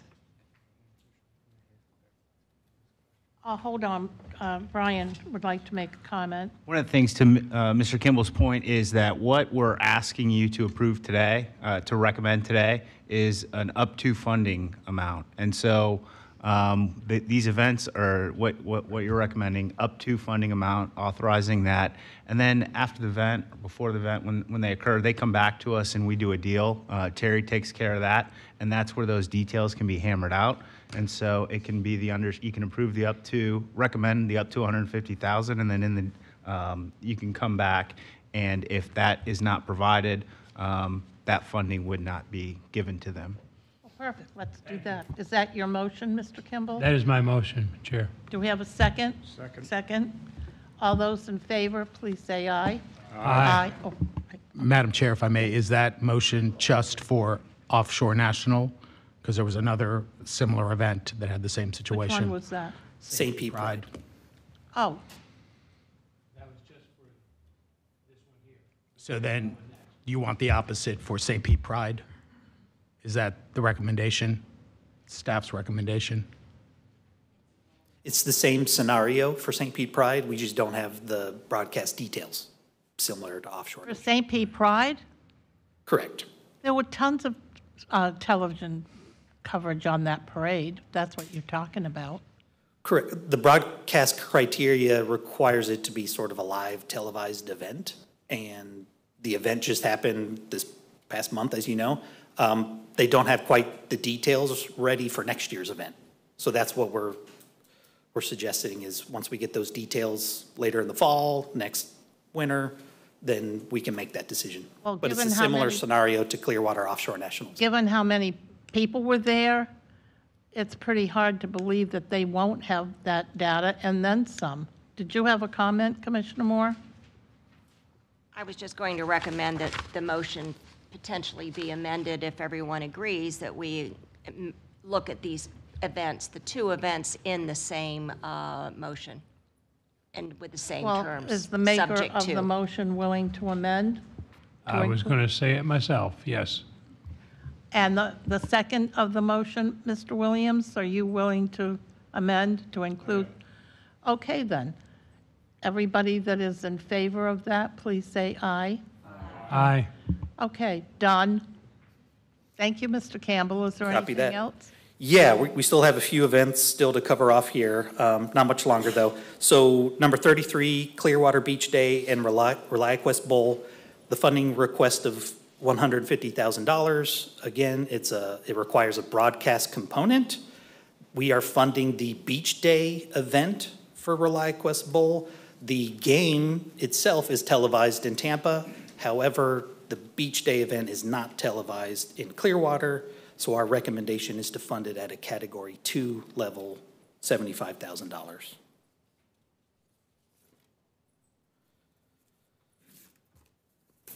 As far as the Hold on, event. hold on, Mr. Mayor. So, so my question is, how, how long of a video do they play of the beach day during the actual live telecast? Sorry, excuse me? How long is the video of the beach day that they play during the telecast? Is it a 30-second spot? Is it a 60-second? Is it a- just a snippet? Typically, it's like B-roll played in, yeah, bumper spots played in and out of the broadcast. But that, according to um, like kind of internal staff and our agency, does not meet the qualifications as a meeting broadcast criteria. Has this been funded at the 150,000 in the past? I believe it has, hasn't it? Um, It does have the funding history in the profile here, so let me look it up. We've funded it at $75,000 four out of the last five years. And in fiscal year '21, we funded it at $60,000, and that was basically a COVID-19 year. Okay, thank you. A a comment, I believe also, we pay for the beach day separately from that 75,000, right? Negative. It's included in that 75,000? Correct. That we pay the event? Exactly. Thank you, Mr. Kimball. Mr. Henderson, did you have a comment? Well, just a historical perspec- perspective, we did away with the elite events for a number of years, but we kept funding Outback, I believe, during that time frame. And then when we came back in, I think they were funded at 100,000 because we thought it was televised. And then eventually we redid the, uh, the criterion and uh, put it back down to 75 and 2 because they're not televising the entire event nationally. So that's what they've been funding over the last several years. Should be all right with it. Okay, everybody good? Please continue. Okay, thank you. As far as the six applications we are not recommending for funding, uh, a new wrinkle here this year, the committee was asked to consider what a potential alternate funding source or option might look like. So one solution we discussed was to consider the non-qualifying event at a f- lower funding category. So I do want to go back and look at events number nine and 15 on your scoring sheet. So St. Pete Bacon and Barbecue Festival, St. Pete Tacos and Tequila Festival, both events requested Category 2 $75,000 in funding. When we reviewed and scored those events at those levels, they did not meet the scoring to qualify. But when we looked at them through a Category 3 level, the value went up because it's a lower cost, so the value's going up, and we rescored it, and we would recommend it at a Category 3, $25,000 level. So to summarize, the committee, VSPC committee, not comfortable with the $75,000 commitment for those two events, but we are comfortable recommending $25,000 for those two events. Um, Mr. Campbell, question, please. Can you tell us what time of the year those two quote-unquote festivals are? Absolutely. Give me one second. What? I think tacos and tequila just happened, like recently. Uh, and then St. Pete Bacon and Barbecue, I think, is at the beginning of the summer. But you probably have the dates. Am I close? I- Yeah, I've got them right here. Um, So St. Pete Bacon and Barbecue is January 13th through the 14th. And then, correct, May for Tacos and Tequila Festival. Okay. Any comments from the board? Anybody? No? Continue. So not every event that we rescored got put back into a funding recommendation. So that's where page three of your application scoring document comes into play. So six events again. So DNQ one, Halloween on Central, we initially evaluated at seventy-five thousand dollars. Did not qualify. We looked at it again as a category three, and it did not qualify. I'll come back to MLK Dream Big Parade here momentarily. A DNQ three, Orange County Choppers, Big Bike uh, Builder Show. We scored it at a category three, $25,000 request, did not qualify. And then we reviewed it as a category four, $20,000 request, and it did not qualify. And then the bottom three there, um, Put the Pier, Rock and Roller Rink, Spring Festival, those are all category four requests.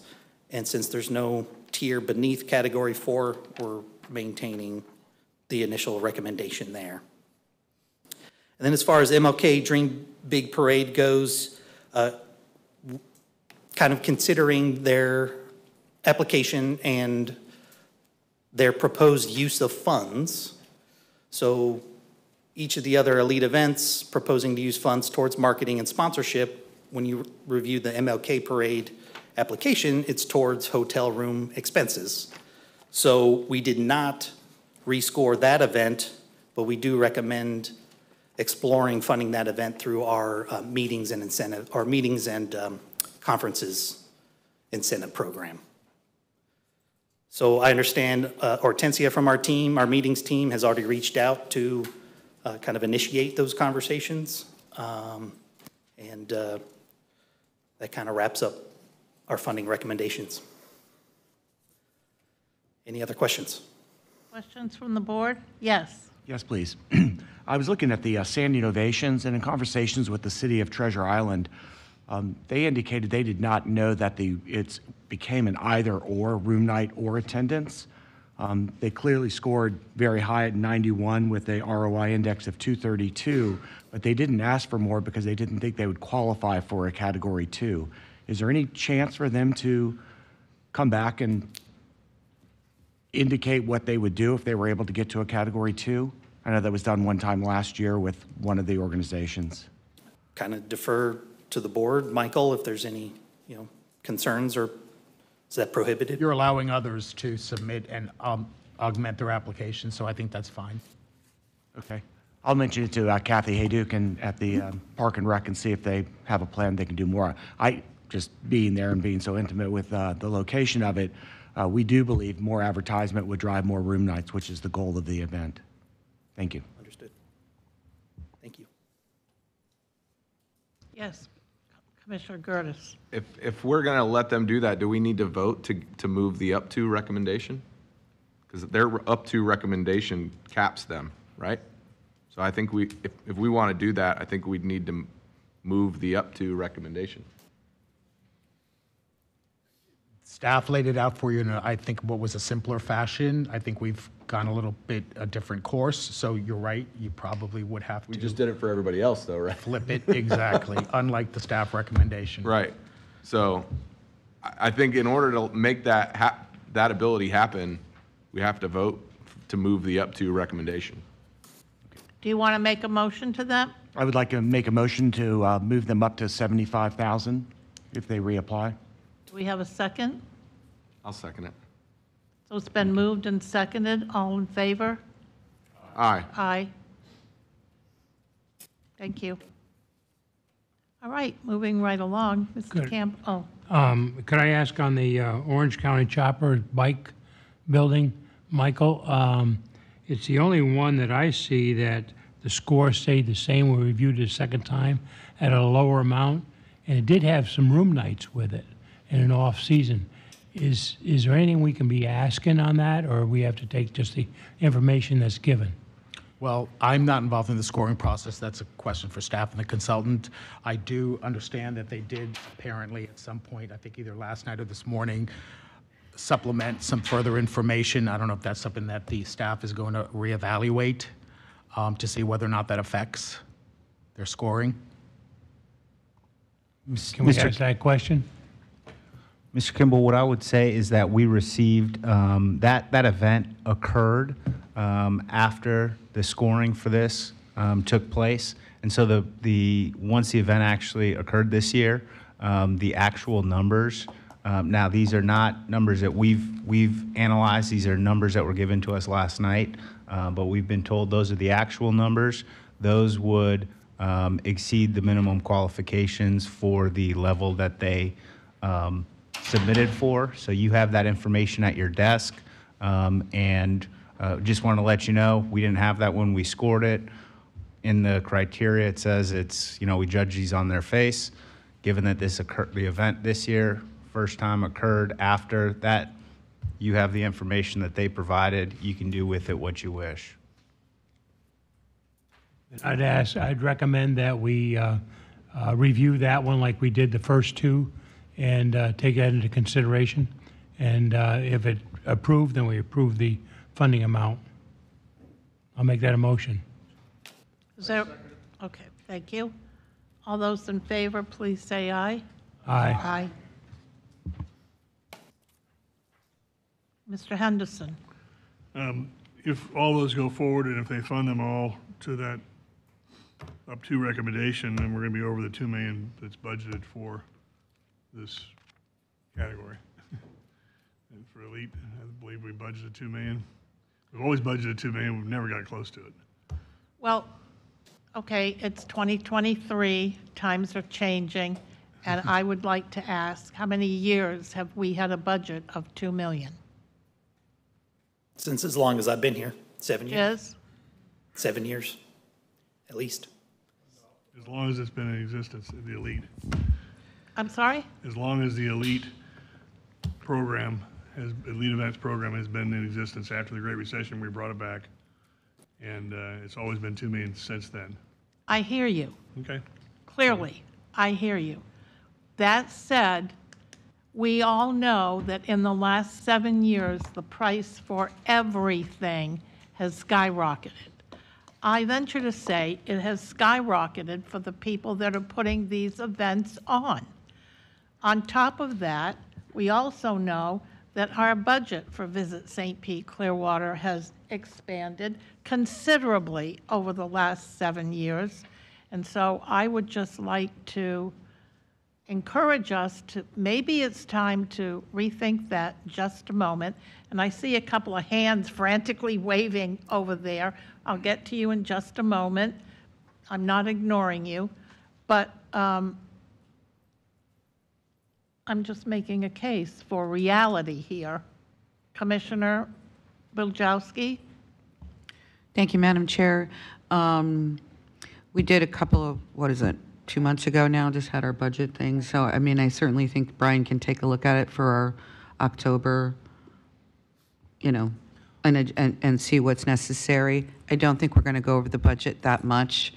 It's a budget adjustment that happens in every, every type of budget, so I don't think it's that big of a deal.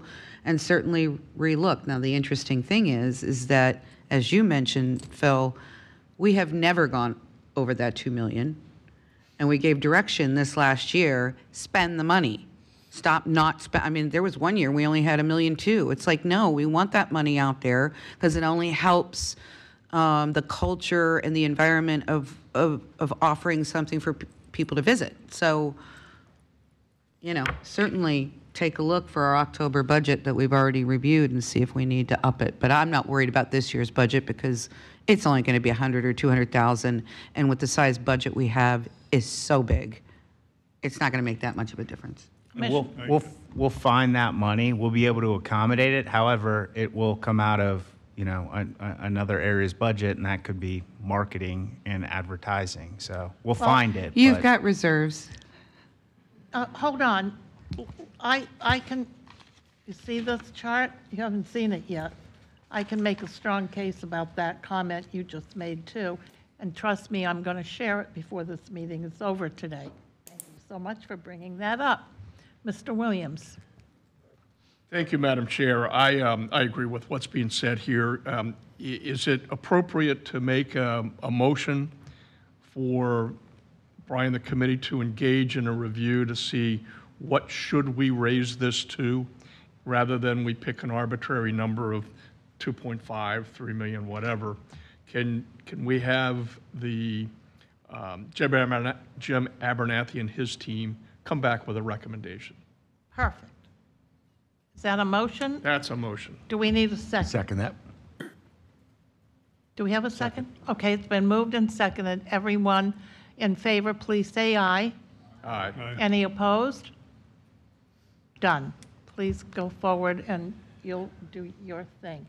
And, um, okay, I'm going to reserve my comment till later, but go ahead. I'd like to make a comment, though, is that we have met our $2 million number, but I'd also encourage that staff uh, does a uh, effort for next year, for '25, to look at the- the diversity of the county and try and see areas that we haven't done any uh, promotions with, that we maybe could do something where times have changed. Oldsmar, Safety Harbor, Tarpon Springs, Palm, uh, up in those areas, and there's some other areas I can see that we ought to make a better effort if we're going to increase the budget. Don't worry. Thank you. Okay? Uh, Before we move on, Mr. Campbell, I think we owe it to our citizens who have been waiting patiently for an opportunity to share their thoughts. And I would like to ask um, Mr. Chivas to please come up. And then,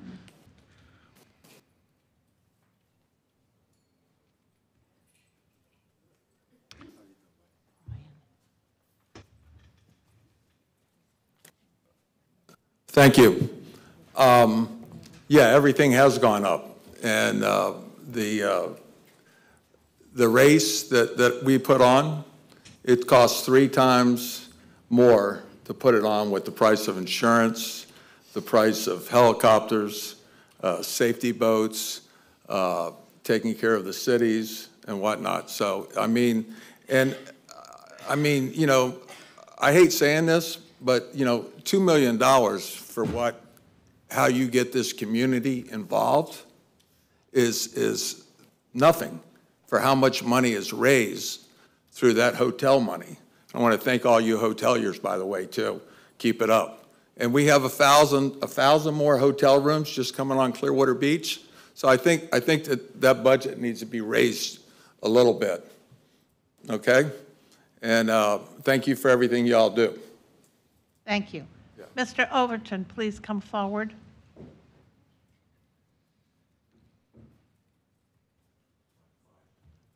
There must be something really important going on for all these new people to show up today. Welcome.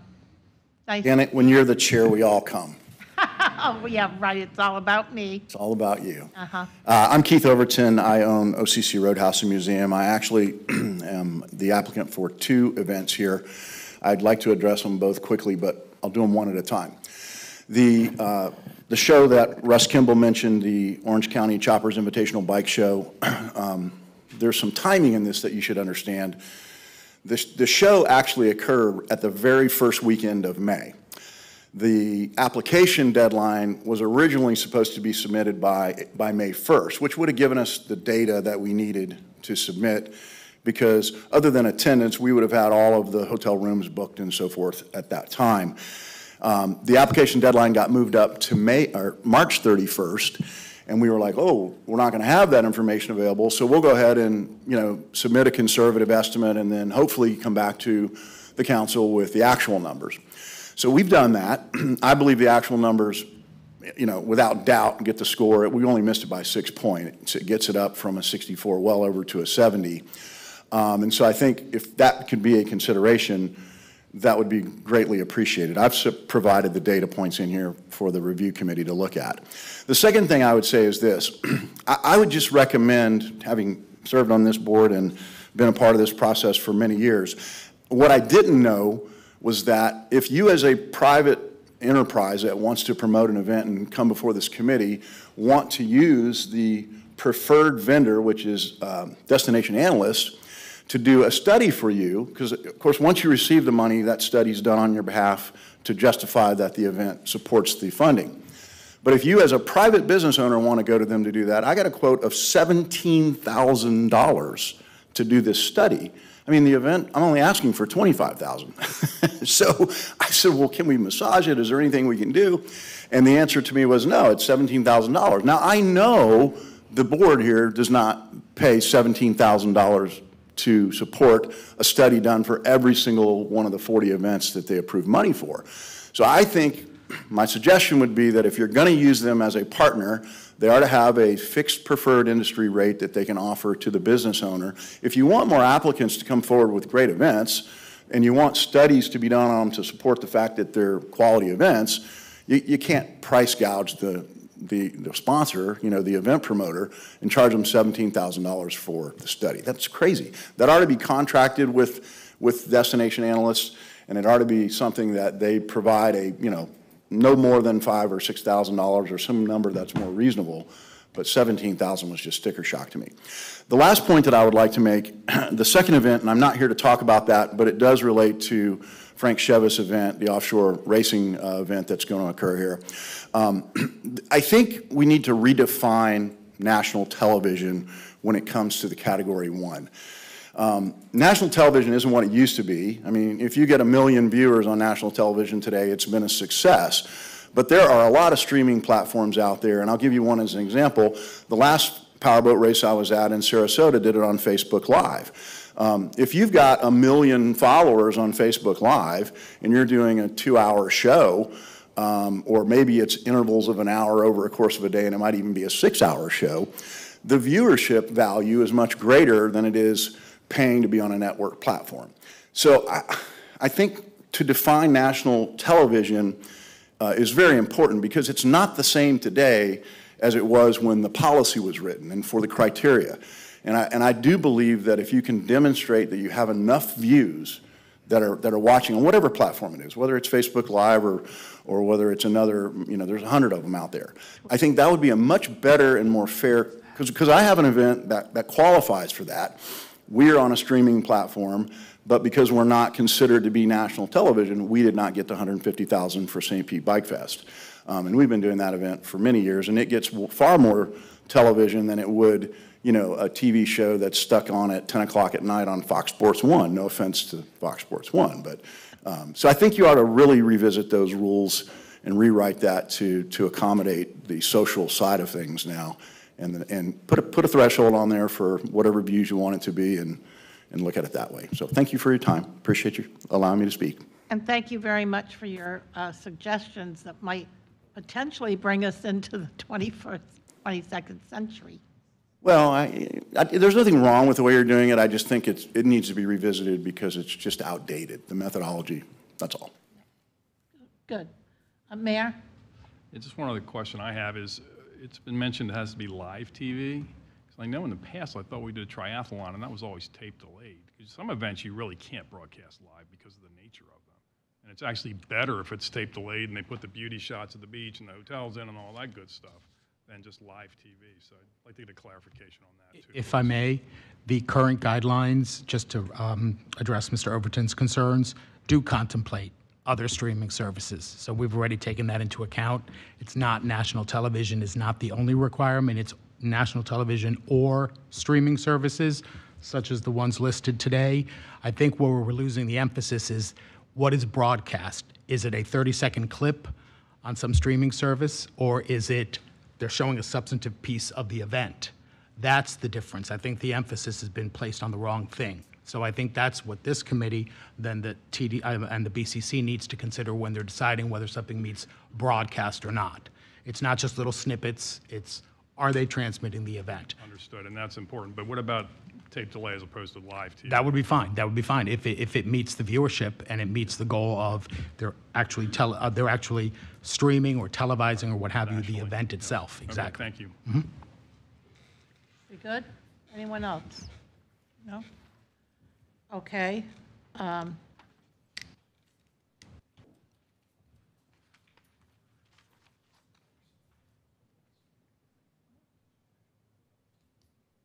I'm so sorry. Did I miss, an- uh, Stacy, did I miss another person from the public that wanted to speak? Mr. Gow?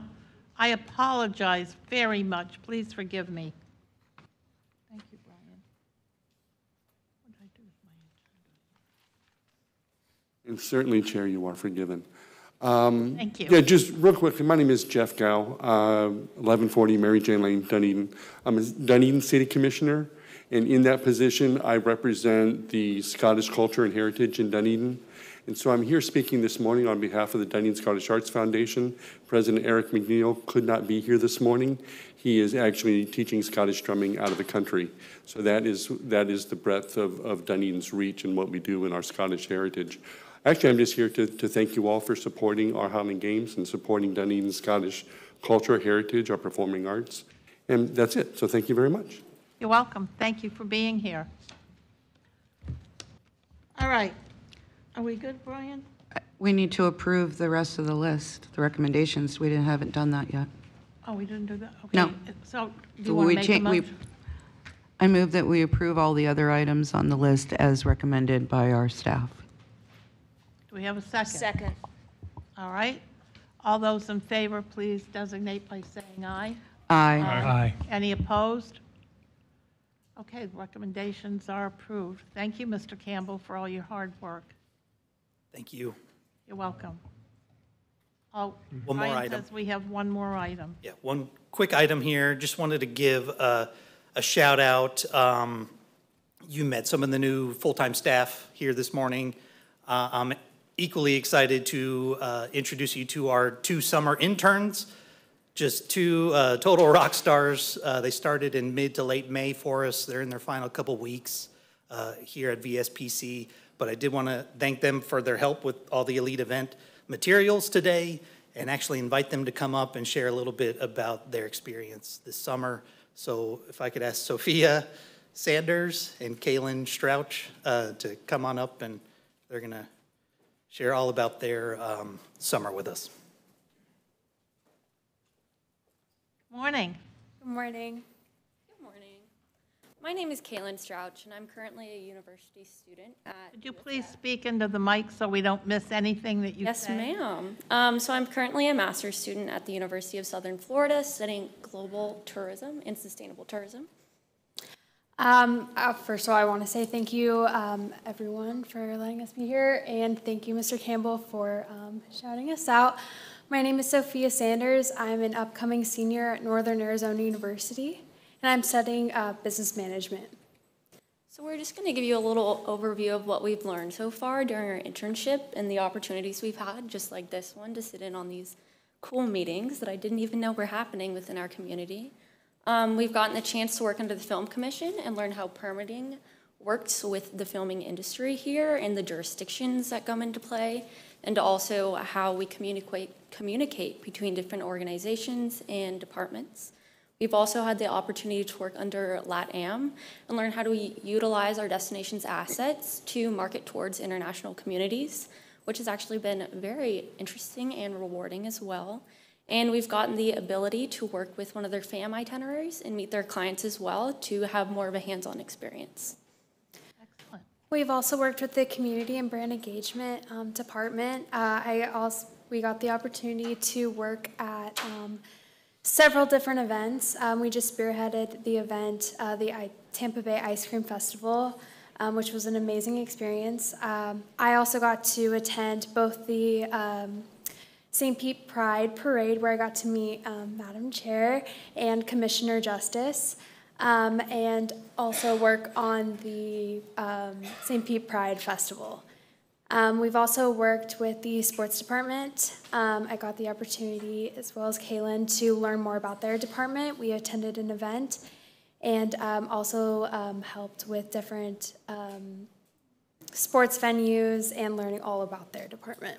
Yeah, So we're just really grateful for the opportunity to be here and learn from you guys as well as the amazing staff at VSPC. They work so incredibly hard and are so passionate about what they do that it's been very rewarding to see that so much work goes into such a great organization. So thank you for having us. You're very welcome. I'm glad to meet you today and have the opportunity to be able to expose you to some of the fabulous things that are going on in this county. And maybe one day you'll come back and actually work at Visit St. Pete Clearwater. Wouldn't that be terrific? That's the dream. There you go. Okay, Brian, future applicants for you to consider. Thank, you Thank you. guys. Good luck, girls. Thank you for being here. Okay? Commissioner? Yes. One, two final thoughts on the elite events. Uh, First of all, uh, you know, uh, 2 million, we've never reached, it, not because of cost increase or anything else, we've never had this many applicants. And I think it's great we have that many, and by the time they get done negotiating, they're not going to hit the 2 million probably anyway, so it's not, a not a concern this year. Um, Future years, maybe, because it looks like it's growing, word's out, and we can help some other, um, other festivals and so forth get off the ground. Secondly, I'd like to thank those that did all the reviews. For anybody who sat on this committee reviewing eight to 10 asks, thank goodness I didn't have to read 33. So thank you all very much on staff for, for doing that for us and presenting this. It was a great job. Thank you, Mr. Henderson. All right, are we, okay, we're all good. So uh, without further ado, let's move to the department reports. Ryan?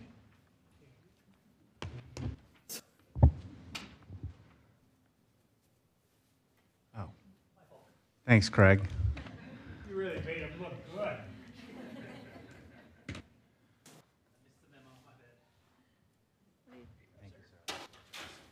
So I'm going to go through um, quickly. Uh, You have the destination metrics numbers in front of you. Um, uh, I will go quickly through these um, just to highlight a few things. And uh, I'm joined today with Eddie. Um, He's our data guru. Um, So at the end, if you'd like to, if you've got any, anywhere you'd like to dig in further, have any questions, um, Eddie's got my back.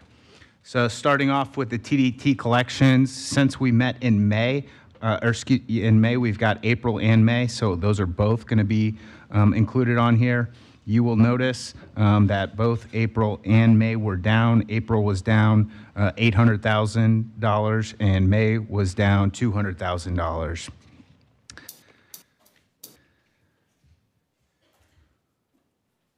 As far as collections by municipality, um, highlighting that uh, Palm Harbor and the Belleairs in April were down, saw the steepest decrease, and uh, miscellaneous others, as well as St. Petersburg, saw the largest increases.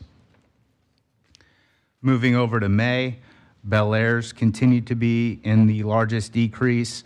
Uh, Madeira Beach, you'll see, had actually the largest decrease in May.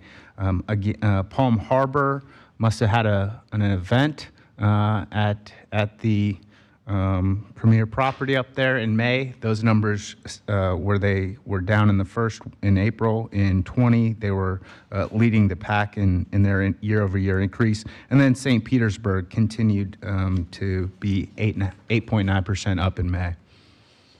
Destination metrics for lodging in April. Um, occupancy rate for hotels uh, down 1%. Uh, vacation rentals down 6.6%. Average daily rate in the hotels down $3.64. And daily rate in vacation rentals down $10. As far as by area, occupancy on the beach down two and a half, 2.6%. Inland up 0.3%. Average daily rate for the beach down $12.52. And on inland, again, you'll see that increased uh, $4.62. Moving to May, um, similar trend that you're seeing here, occupancy in hotels down 1.1%, um, vacation rentals down 6.6%, daily rate in the hotels down $6.24, and daily rate in vacation rentals down $10. As far as by area, beach down 2.2%, Inland only going down a half a percent. The beach rate down $14.30, and inland up 8 cents. So this here, um, this graph here shows uh, that occupancy rate, and you'll see that um, uh, from 2022, um, the, uh, excuse me, since the pandemic, these are the first two months now that we've seen that trend of where we are um, down over 2022.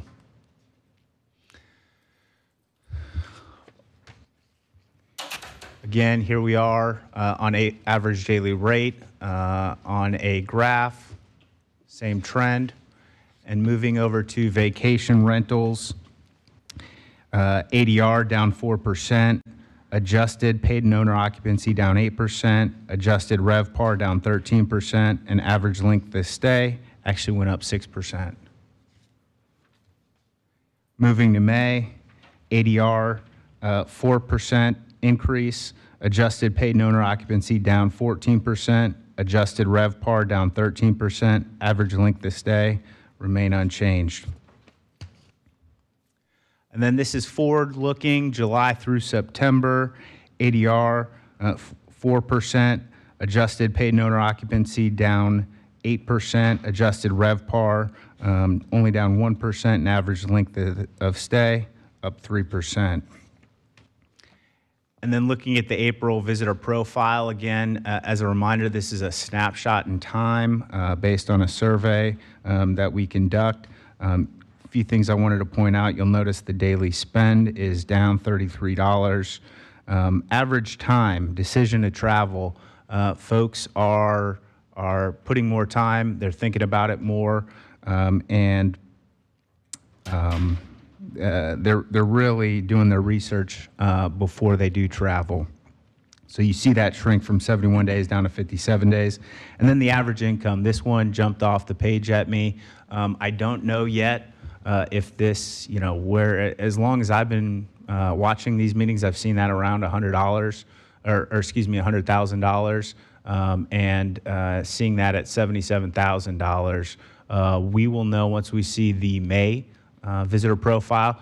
Uh, we'll be able to tell was this just uh, you know uh, a blimp in the radar, or do we start to see a trend? Those are the metrics I have for you. I'm happy to answer any questions to the best of my ability. If not, uh, Eddie's gonna take the mic. Brian, do we know what the sample size is of these matrix? Eddie, please.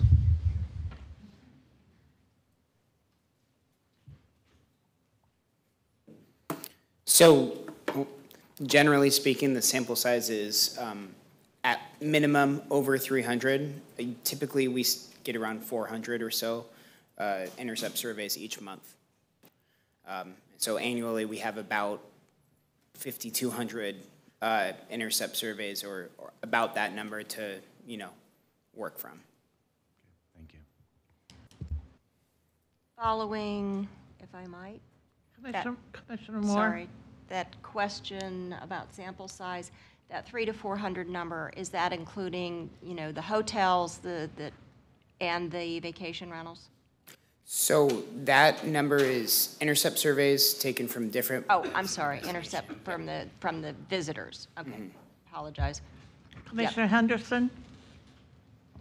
Um, All the data up to this, to this last one was all about hotel stays and overnight visitors.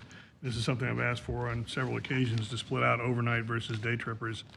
Um, Because you, you, now you see a mean stay of 3.3 uh, versus 3.1. Well, that's because you're averaging people that didn't spend the night. Only 31% of this group spent, stayed overnight. So again, I would like to see these metrics broken out on a visitor profile of those who stay overnight and those who do not. Um, You've got, you know, 69% of the people didn't stay overnight. So what's the average income? You know, wh- what are we looking for to attract people to come to stay in hotels and vacation rentals, to come stay here for a few, you know, for, for six nights, not for three?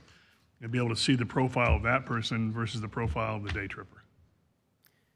So I think we do generally provide more of that breakout data on a quarterly basis instead of on the monthly basis due to concerns about sampling size and that being, you know, can fluctuate from month to month. Uh, However, I'll uh, get with destination analysts to provide a, a better breakout of, of those. I'd just like to see the numbers, you know, you, you sampled 300, 400, whatever. 31% of those did not stay overnight, okay? So give me stats on the 31 that didn't stay overnight, and give me stats on the 69, I'm sorry, the, the 69% that didn't stay overnight and the 31% that did stay overnight. What was their average stay? The average nights stayed for the didn't stay overnight is zero, okay? Not 3.3, you know? I've got to do some serious math to figure out, well, it's a lot higher than that, but how much higher? You, you understand what I'm asking for? Right, so you're asking that number relative to only the people who stayed overnight versus combining, Look at the visitor profile of those who don't spend the night and those who do stay a night. It's two different groups. So we can see true data on people that come here and stay in accommodations, and then the other data who, who just visit for the daytime, to come to the Marine Aquarium from Tampa, something like that. You know, Okay. That's a, that's a different kind of visitor than an overnight stay. I think it's really important to segment those. You know, So- ask for it over and over and over, and it doesn't seem to hit home. So Commissioner Henderson, uh, rather than grilling the staff person sitting, standing there in the hot, uh, hot seat, uh, maybe we could just take a pause and recognize that there are some significant data points to glean out of the numbers we're getting today. And I think you'll see going forward a lot of changes taking place, not only in reporting, but how we look at the data that we're getting and what is really missing. And you know what? To give sta- staff the direction to do those things requires real solid leadership, which we all know this organization has not had for a long time. With that said, uh, Ms- Mr. Gertis? Thank you. Um, I, I brought it up in May, and I know a lot has happened since May, but I think on the occupancy, it's really important. I know- please. Sorry. Uh, I'm loud enough, I normally don't need the microphone. Um, I think, I brought it up in May, and again, I know a lot has happened since May, but I, I brought up, when we're looking at occupancy, also looking at inventory and inventory of what's being reported. So if we had a thousand more rooms report compared to 22, that would skew that percentage number depending on occupancy. And so I think some of those, and I don't know that we need to do that monthly, but I, it, for me, it would be helpful to see, because I think about everything that's being built right on Clearwater and St. Pete and all, ac- across our county, everything that's being built. We also want to look at inventory compared to occupancy, because as we continue to grow, you know, those are going to be th- these. Like when I look at, yes, it's down. It's two percent. Yes, we don't want it to go down, but that could certainly be within the mean of it of, of an inventory swing. And so I, I just want to make sure we're looking at that too, and not making decisions based on a two percent decline. Right? Like I don't.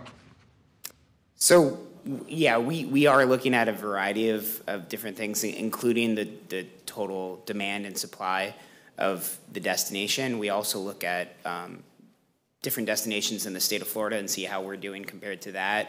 You know, I can share, um, we receive the report and we receive how uh, basically generally that, that state of Florida is doing. And generally, we're above um, the, the state of Florida.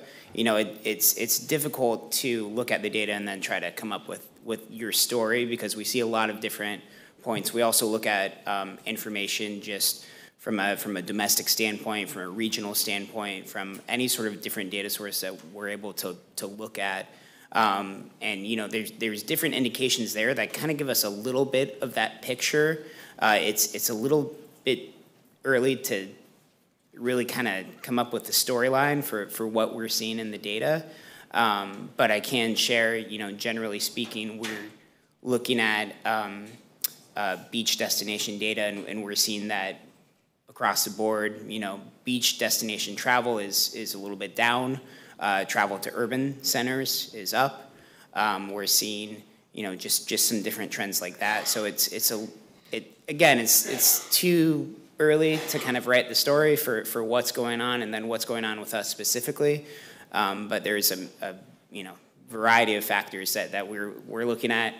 Obviously, the supply and demand is, is a big part of it. As we know, we have new uh, hotel inventory that's opened up, both on the beach and in inland. So we look at that dynamic and see where those biggest losses are coming from as well. Um, so there's, there's just, a, you know, a, a lot of data to, to, to kind of sift through. Yeah, I appreciate that context, Eddie. And also, and again, I, I want to make it very clear, I don't, I don't think we need to do that deep dive every month, right? But maybe like semi-annually, just check in on like where inventory is at and what that trend might look like. We do it almost. I'm sure. Yeah. We, right here. But no, I appreciate it. Thanks, Eddie. Thank you. Thank you. Uh, Commissioner Bujalski? I, I was just going to say, I mean, not that this makes a difference, but I'm hearing from my short-term rental people in Dunedin, the ones that have regular ones or have several that are well-known in our community, that they're, they're really struggling to fill. And some of them are thinking about converting to long-term rental.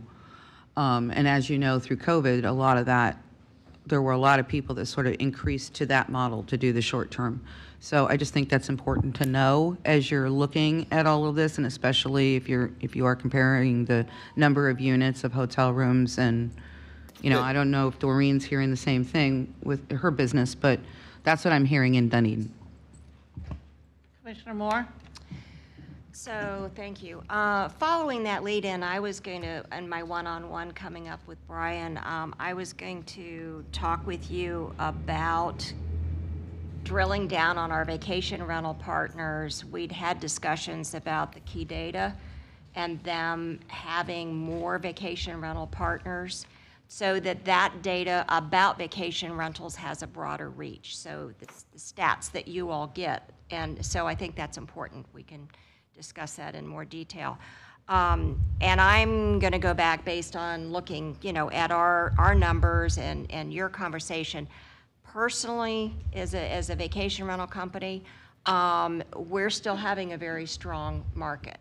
And I want to take and compare our numbers to the ADRs and our occupancies and some of those other numbers, just to kind of get a feel on how that compares overall. Um, So I wrote myself a note to, to do that internally. Um, But I'm not seeing that as a downward trend. Um, Possibly pricing, because we know for, even from the hotel industry that, uh, you know, maybe prices, that, that price increase does need to be adjusted a little bit, but we'll, we'll work on that.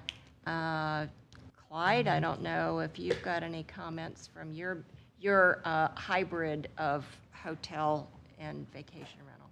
Just the one comment that I had, and I think we did used to get, or maybe it's a quarterly thing, Eddie, uh, the STAR report information, because there you're looking at revenue per available room, and that takes into account whatever the inventory is. It's just how many, doesn't matter how many rooms, it's how much revenue are they generating per that. I think that's, that's a stat we use every week in my business. Yeah, so we uh, have been really, since DD has been on board, doing outreach to every data partner we have, making sure that we're receiving the full reports. Um, the STR forecast report is one that um, we, uh, you know, ha- had followed up on and, and will be receiving directly now. Uh, with regard to the short-term vacation rental market, you know, it, it, it is quite an interesting situation. Again, I wish I had, you know, the, the storyline to say what's going on, but it does look like, uh, to, to your point, Mayor, there's uh, maybe a little bit more volatility within that market. There's different economic factors possibly.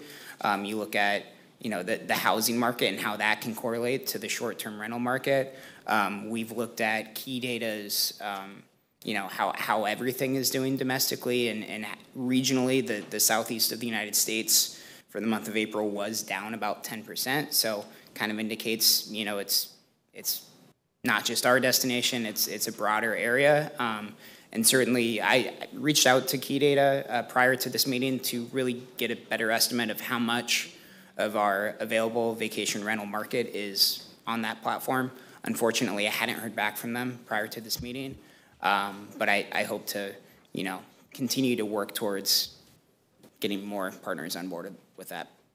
Excuse me, um, Brian, I would just say, um, uh, right in line to many of the questions that have come up, Um, I, I do want to highlight that um, Eddie did um, get, add Dee to the team, uh, what, two and a half, three weeks ago now.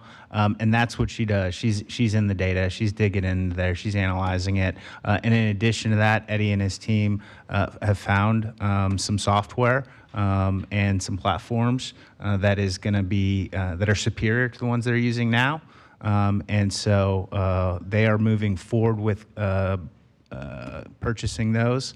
And so between the upgraded software and the additional staff, um, we're really going to get wild with the data. Good, good to know. Now, Eddie, when you come back to talk to us next month, would you be so kind as to include a short snippet of the data from Visit Tampa?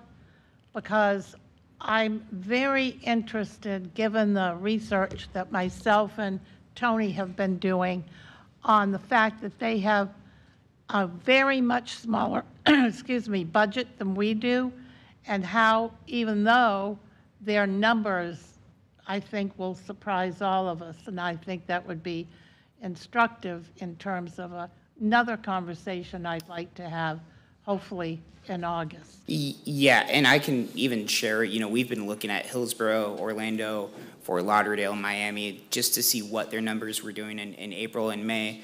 Um, for Hillsborough, we actually saw them uh, lose more occupancy than us. However, their ADR went up quite a bit. Um, my first speculation was from a Taylor Swift concert uh, that, that, that happened about that period.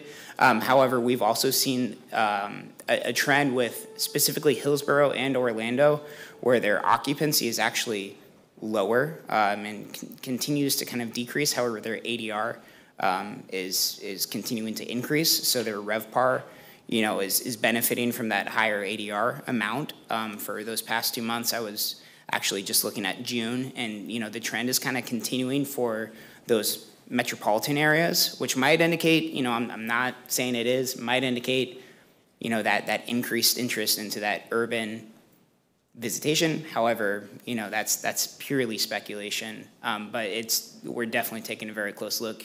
Each month we see, you know, any sort of comparative report with how we're doing with our other Florida destinations. Okay, anything else, Brian? For the moment? Commissioner Williams? Thank you, Madam Chair. Um, Copley, I, I agree with your, your comments on understanding inventory. Taking that a step further, we all hear anecdotally about new hotel projects coming into the county.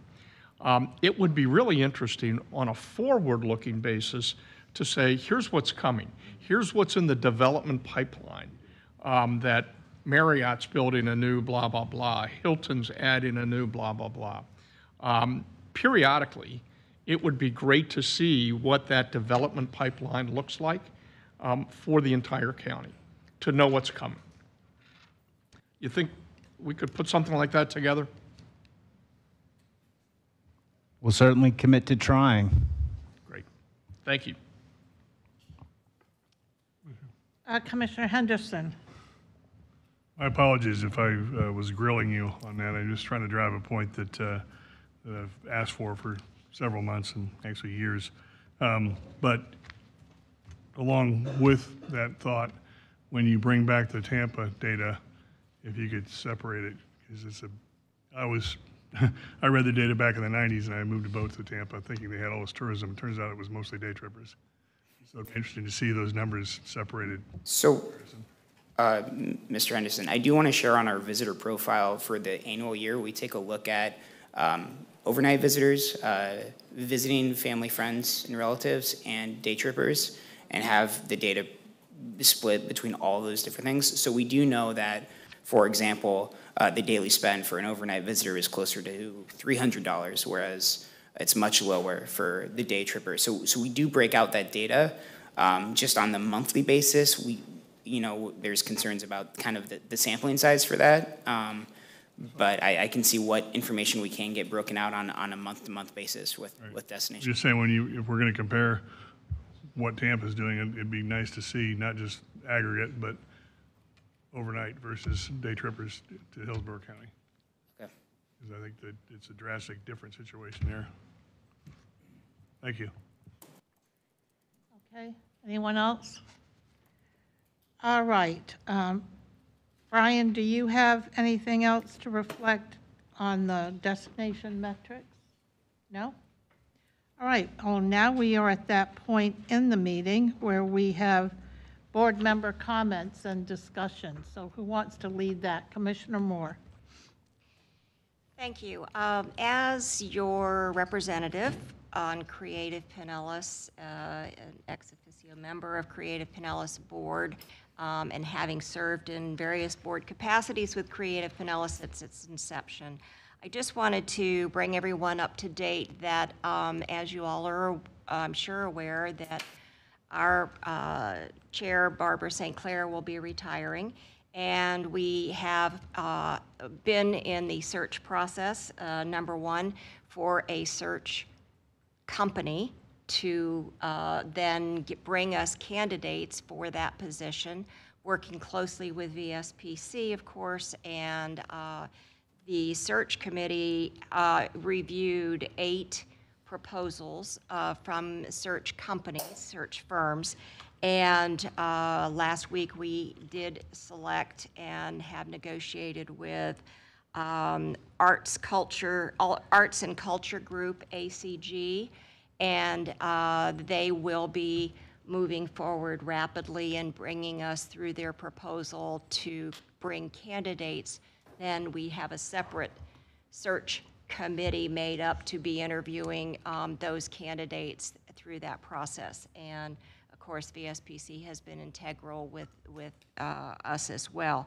So uh, this company does uh, specialize in placing arts administrators, and we're very, very pleased uh, to have this team behind us to, to make um, what we expect to be a very qualified uh, decision and choice in, in leading us forward.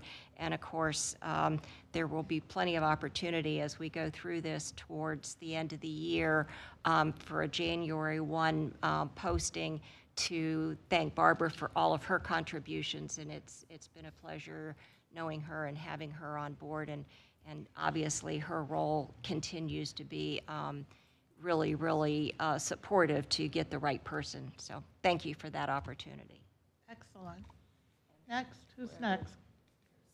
Commissioner Williams and then Commissioner Henderson. Thank you, Madam Chair. I'm just um, looking at the budget, um, and on the second page, there's an expenditure for beach uh, nourishment uh, that um, we've spent just over $7 million October through June. I know that the beach renourishment is a huge issue and question that is still in, in debate, but help me understand, what has that $7 million gone to? What, what have we done with that?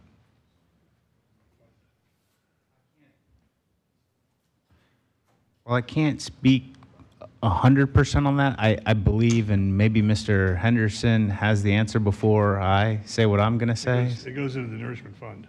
So that's just It goes funding. directly into the fund and then it's pulled out as it's needed.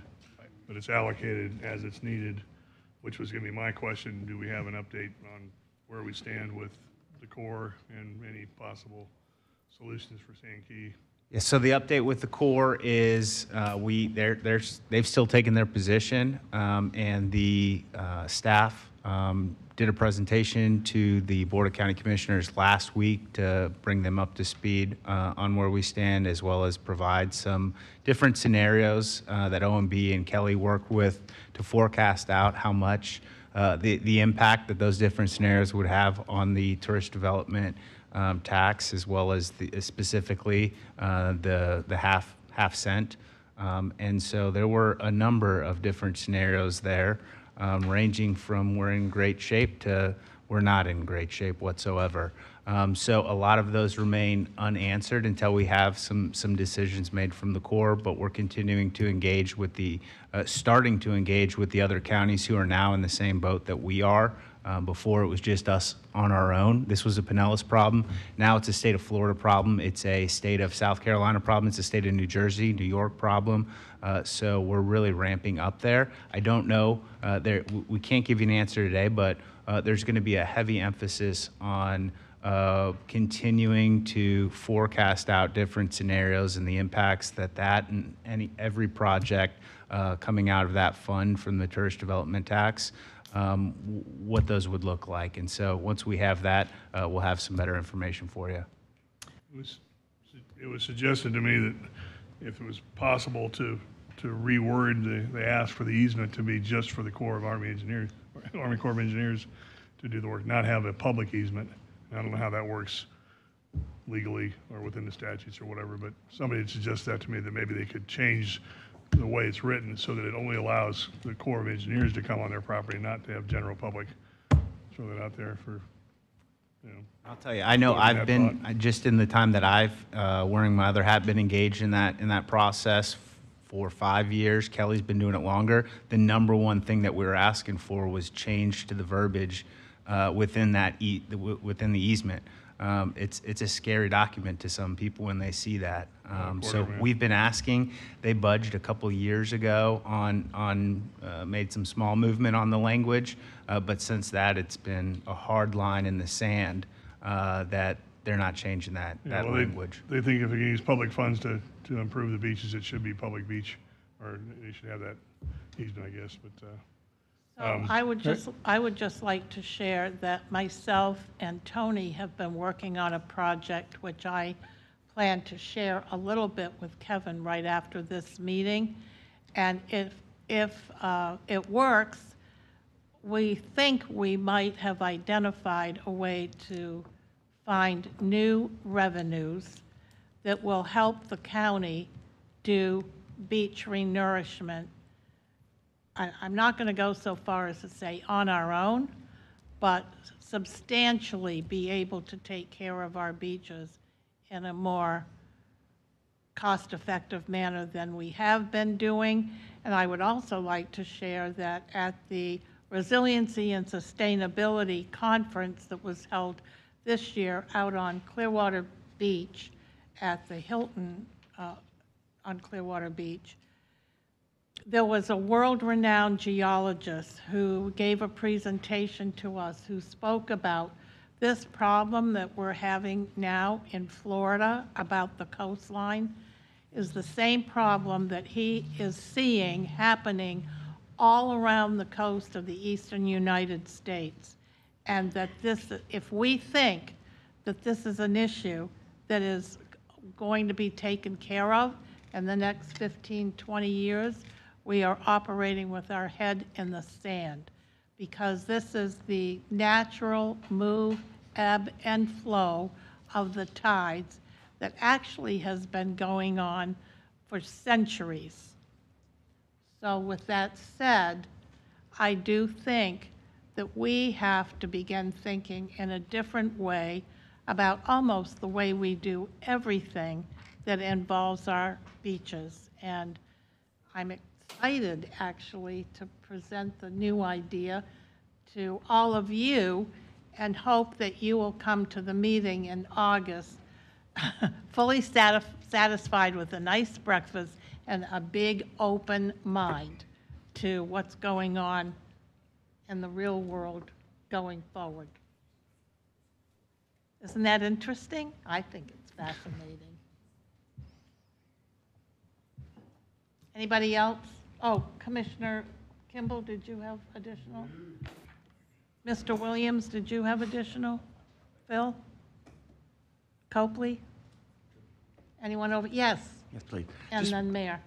Thank you, Madam Chair. Wonder where we're at with the budget approval, because we did not make any motion uh, when we went through the whole budget book. Um, We had the little twist at the end, and just where we're at with that to the Board of County Commissioners. Yeah, and that's actually one of my last two notes here uh, under my report. So I'll just give you a quick update on the budget. Um, Yesterday at the BCC meeting, the county administrator did uh, present his proposed uh, budget to the Board of County Commissioners.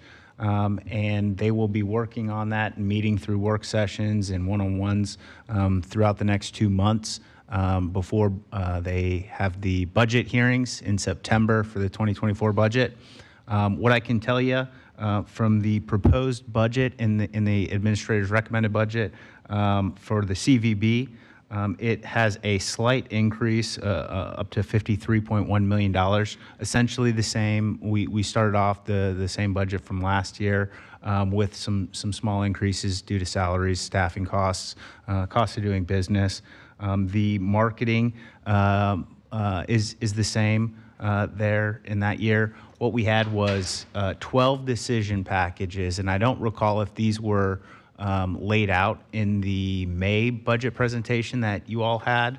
Um, but uh, essentially, all the spending, all the uh, all the requests for spending above last year's budget, those were um, broken down into funding uh, into decision package, individual decision packages. We had 12 of them from this department. Um, each of those were reviewed, and in the recommended um, 2024 budget, um, there are uh, seven of those um, that are included, just so you know, um, because this is hot off the press. There were the additional funding for capital funding program consultant for $100,000 one time. uh, That was included. Increased funding for Chambers of Commerce support. There's $100,000 recurring. The uh, countywide cultural plan continuation, uh, one time, moving that $200,000 for the cultural plan into '24, that's included the increase uh, in the annual contribution to the Creative Pinellas operating expenses from TDT funds, 70, uh, an additional $75,000. That's included, that's recurring. And the increase in the public relations and marketing services contract in the UK and Germany, um, that increase of $7,500 is included. Uh, An increase to the CVB travel um, for higher, higher travel costs and need to attend trade shows and conferences. That's been included at $126,000 additional, and then uh, an, additional $11,000 for CVB training and education. Uh, the decision packages that weren't included on there, um, I won't go through all those. Um, but the two big ones that, that I'll tell you we're working on are the marketing uh, for both traditional and digital combined. Those equaled, I believe it was $8 million in, in increased uh, funding for those. Um, what we are in the process of doing is looking through that data, getting the data that we need that, that shows um, and, uh, why are we marketing in the markets that we are, how we're doing it, uh, where do we want to go if we were to receive that increased funding, and what do we expect from that if we were to do that? So we want to take that data, paint that story of what we want to do, uh, and then we'll go to um, county administration to make that request. But we've got to have that information um, to be able to serve him uh, before we go and make that request.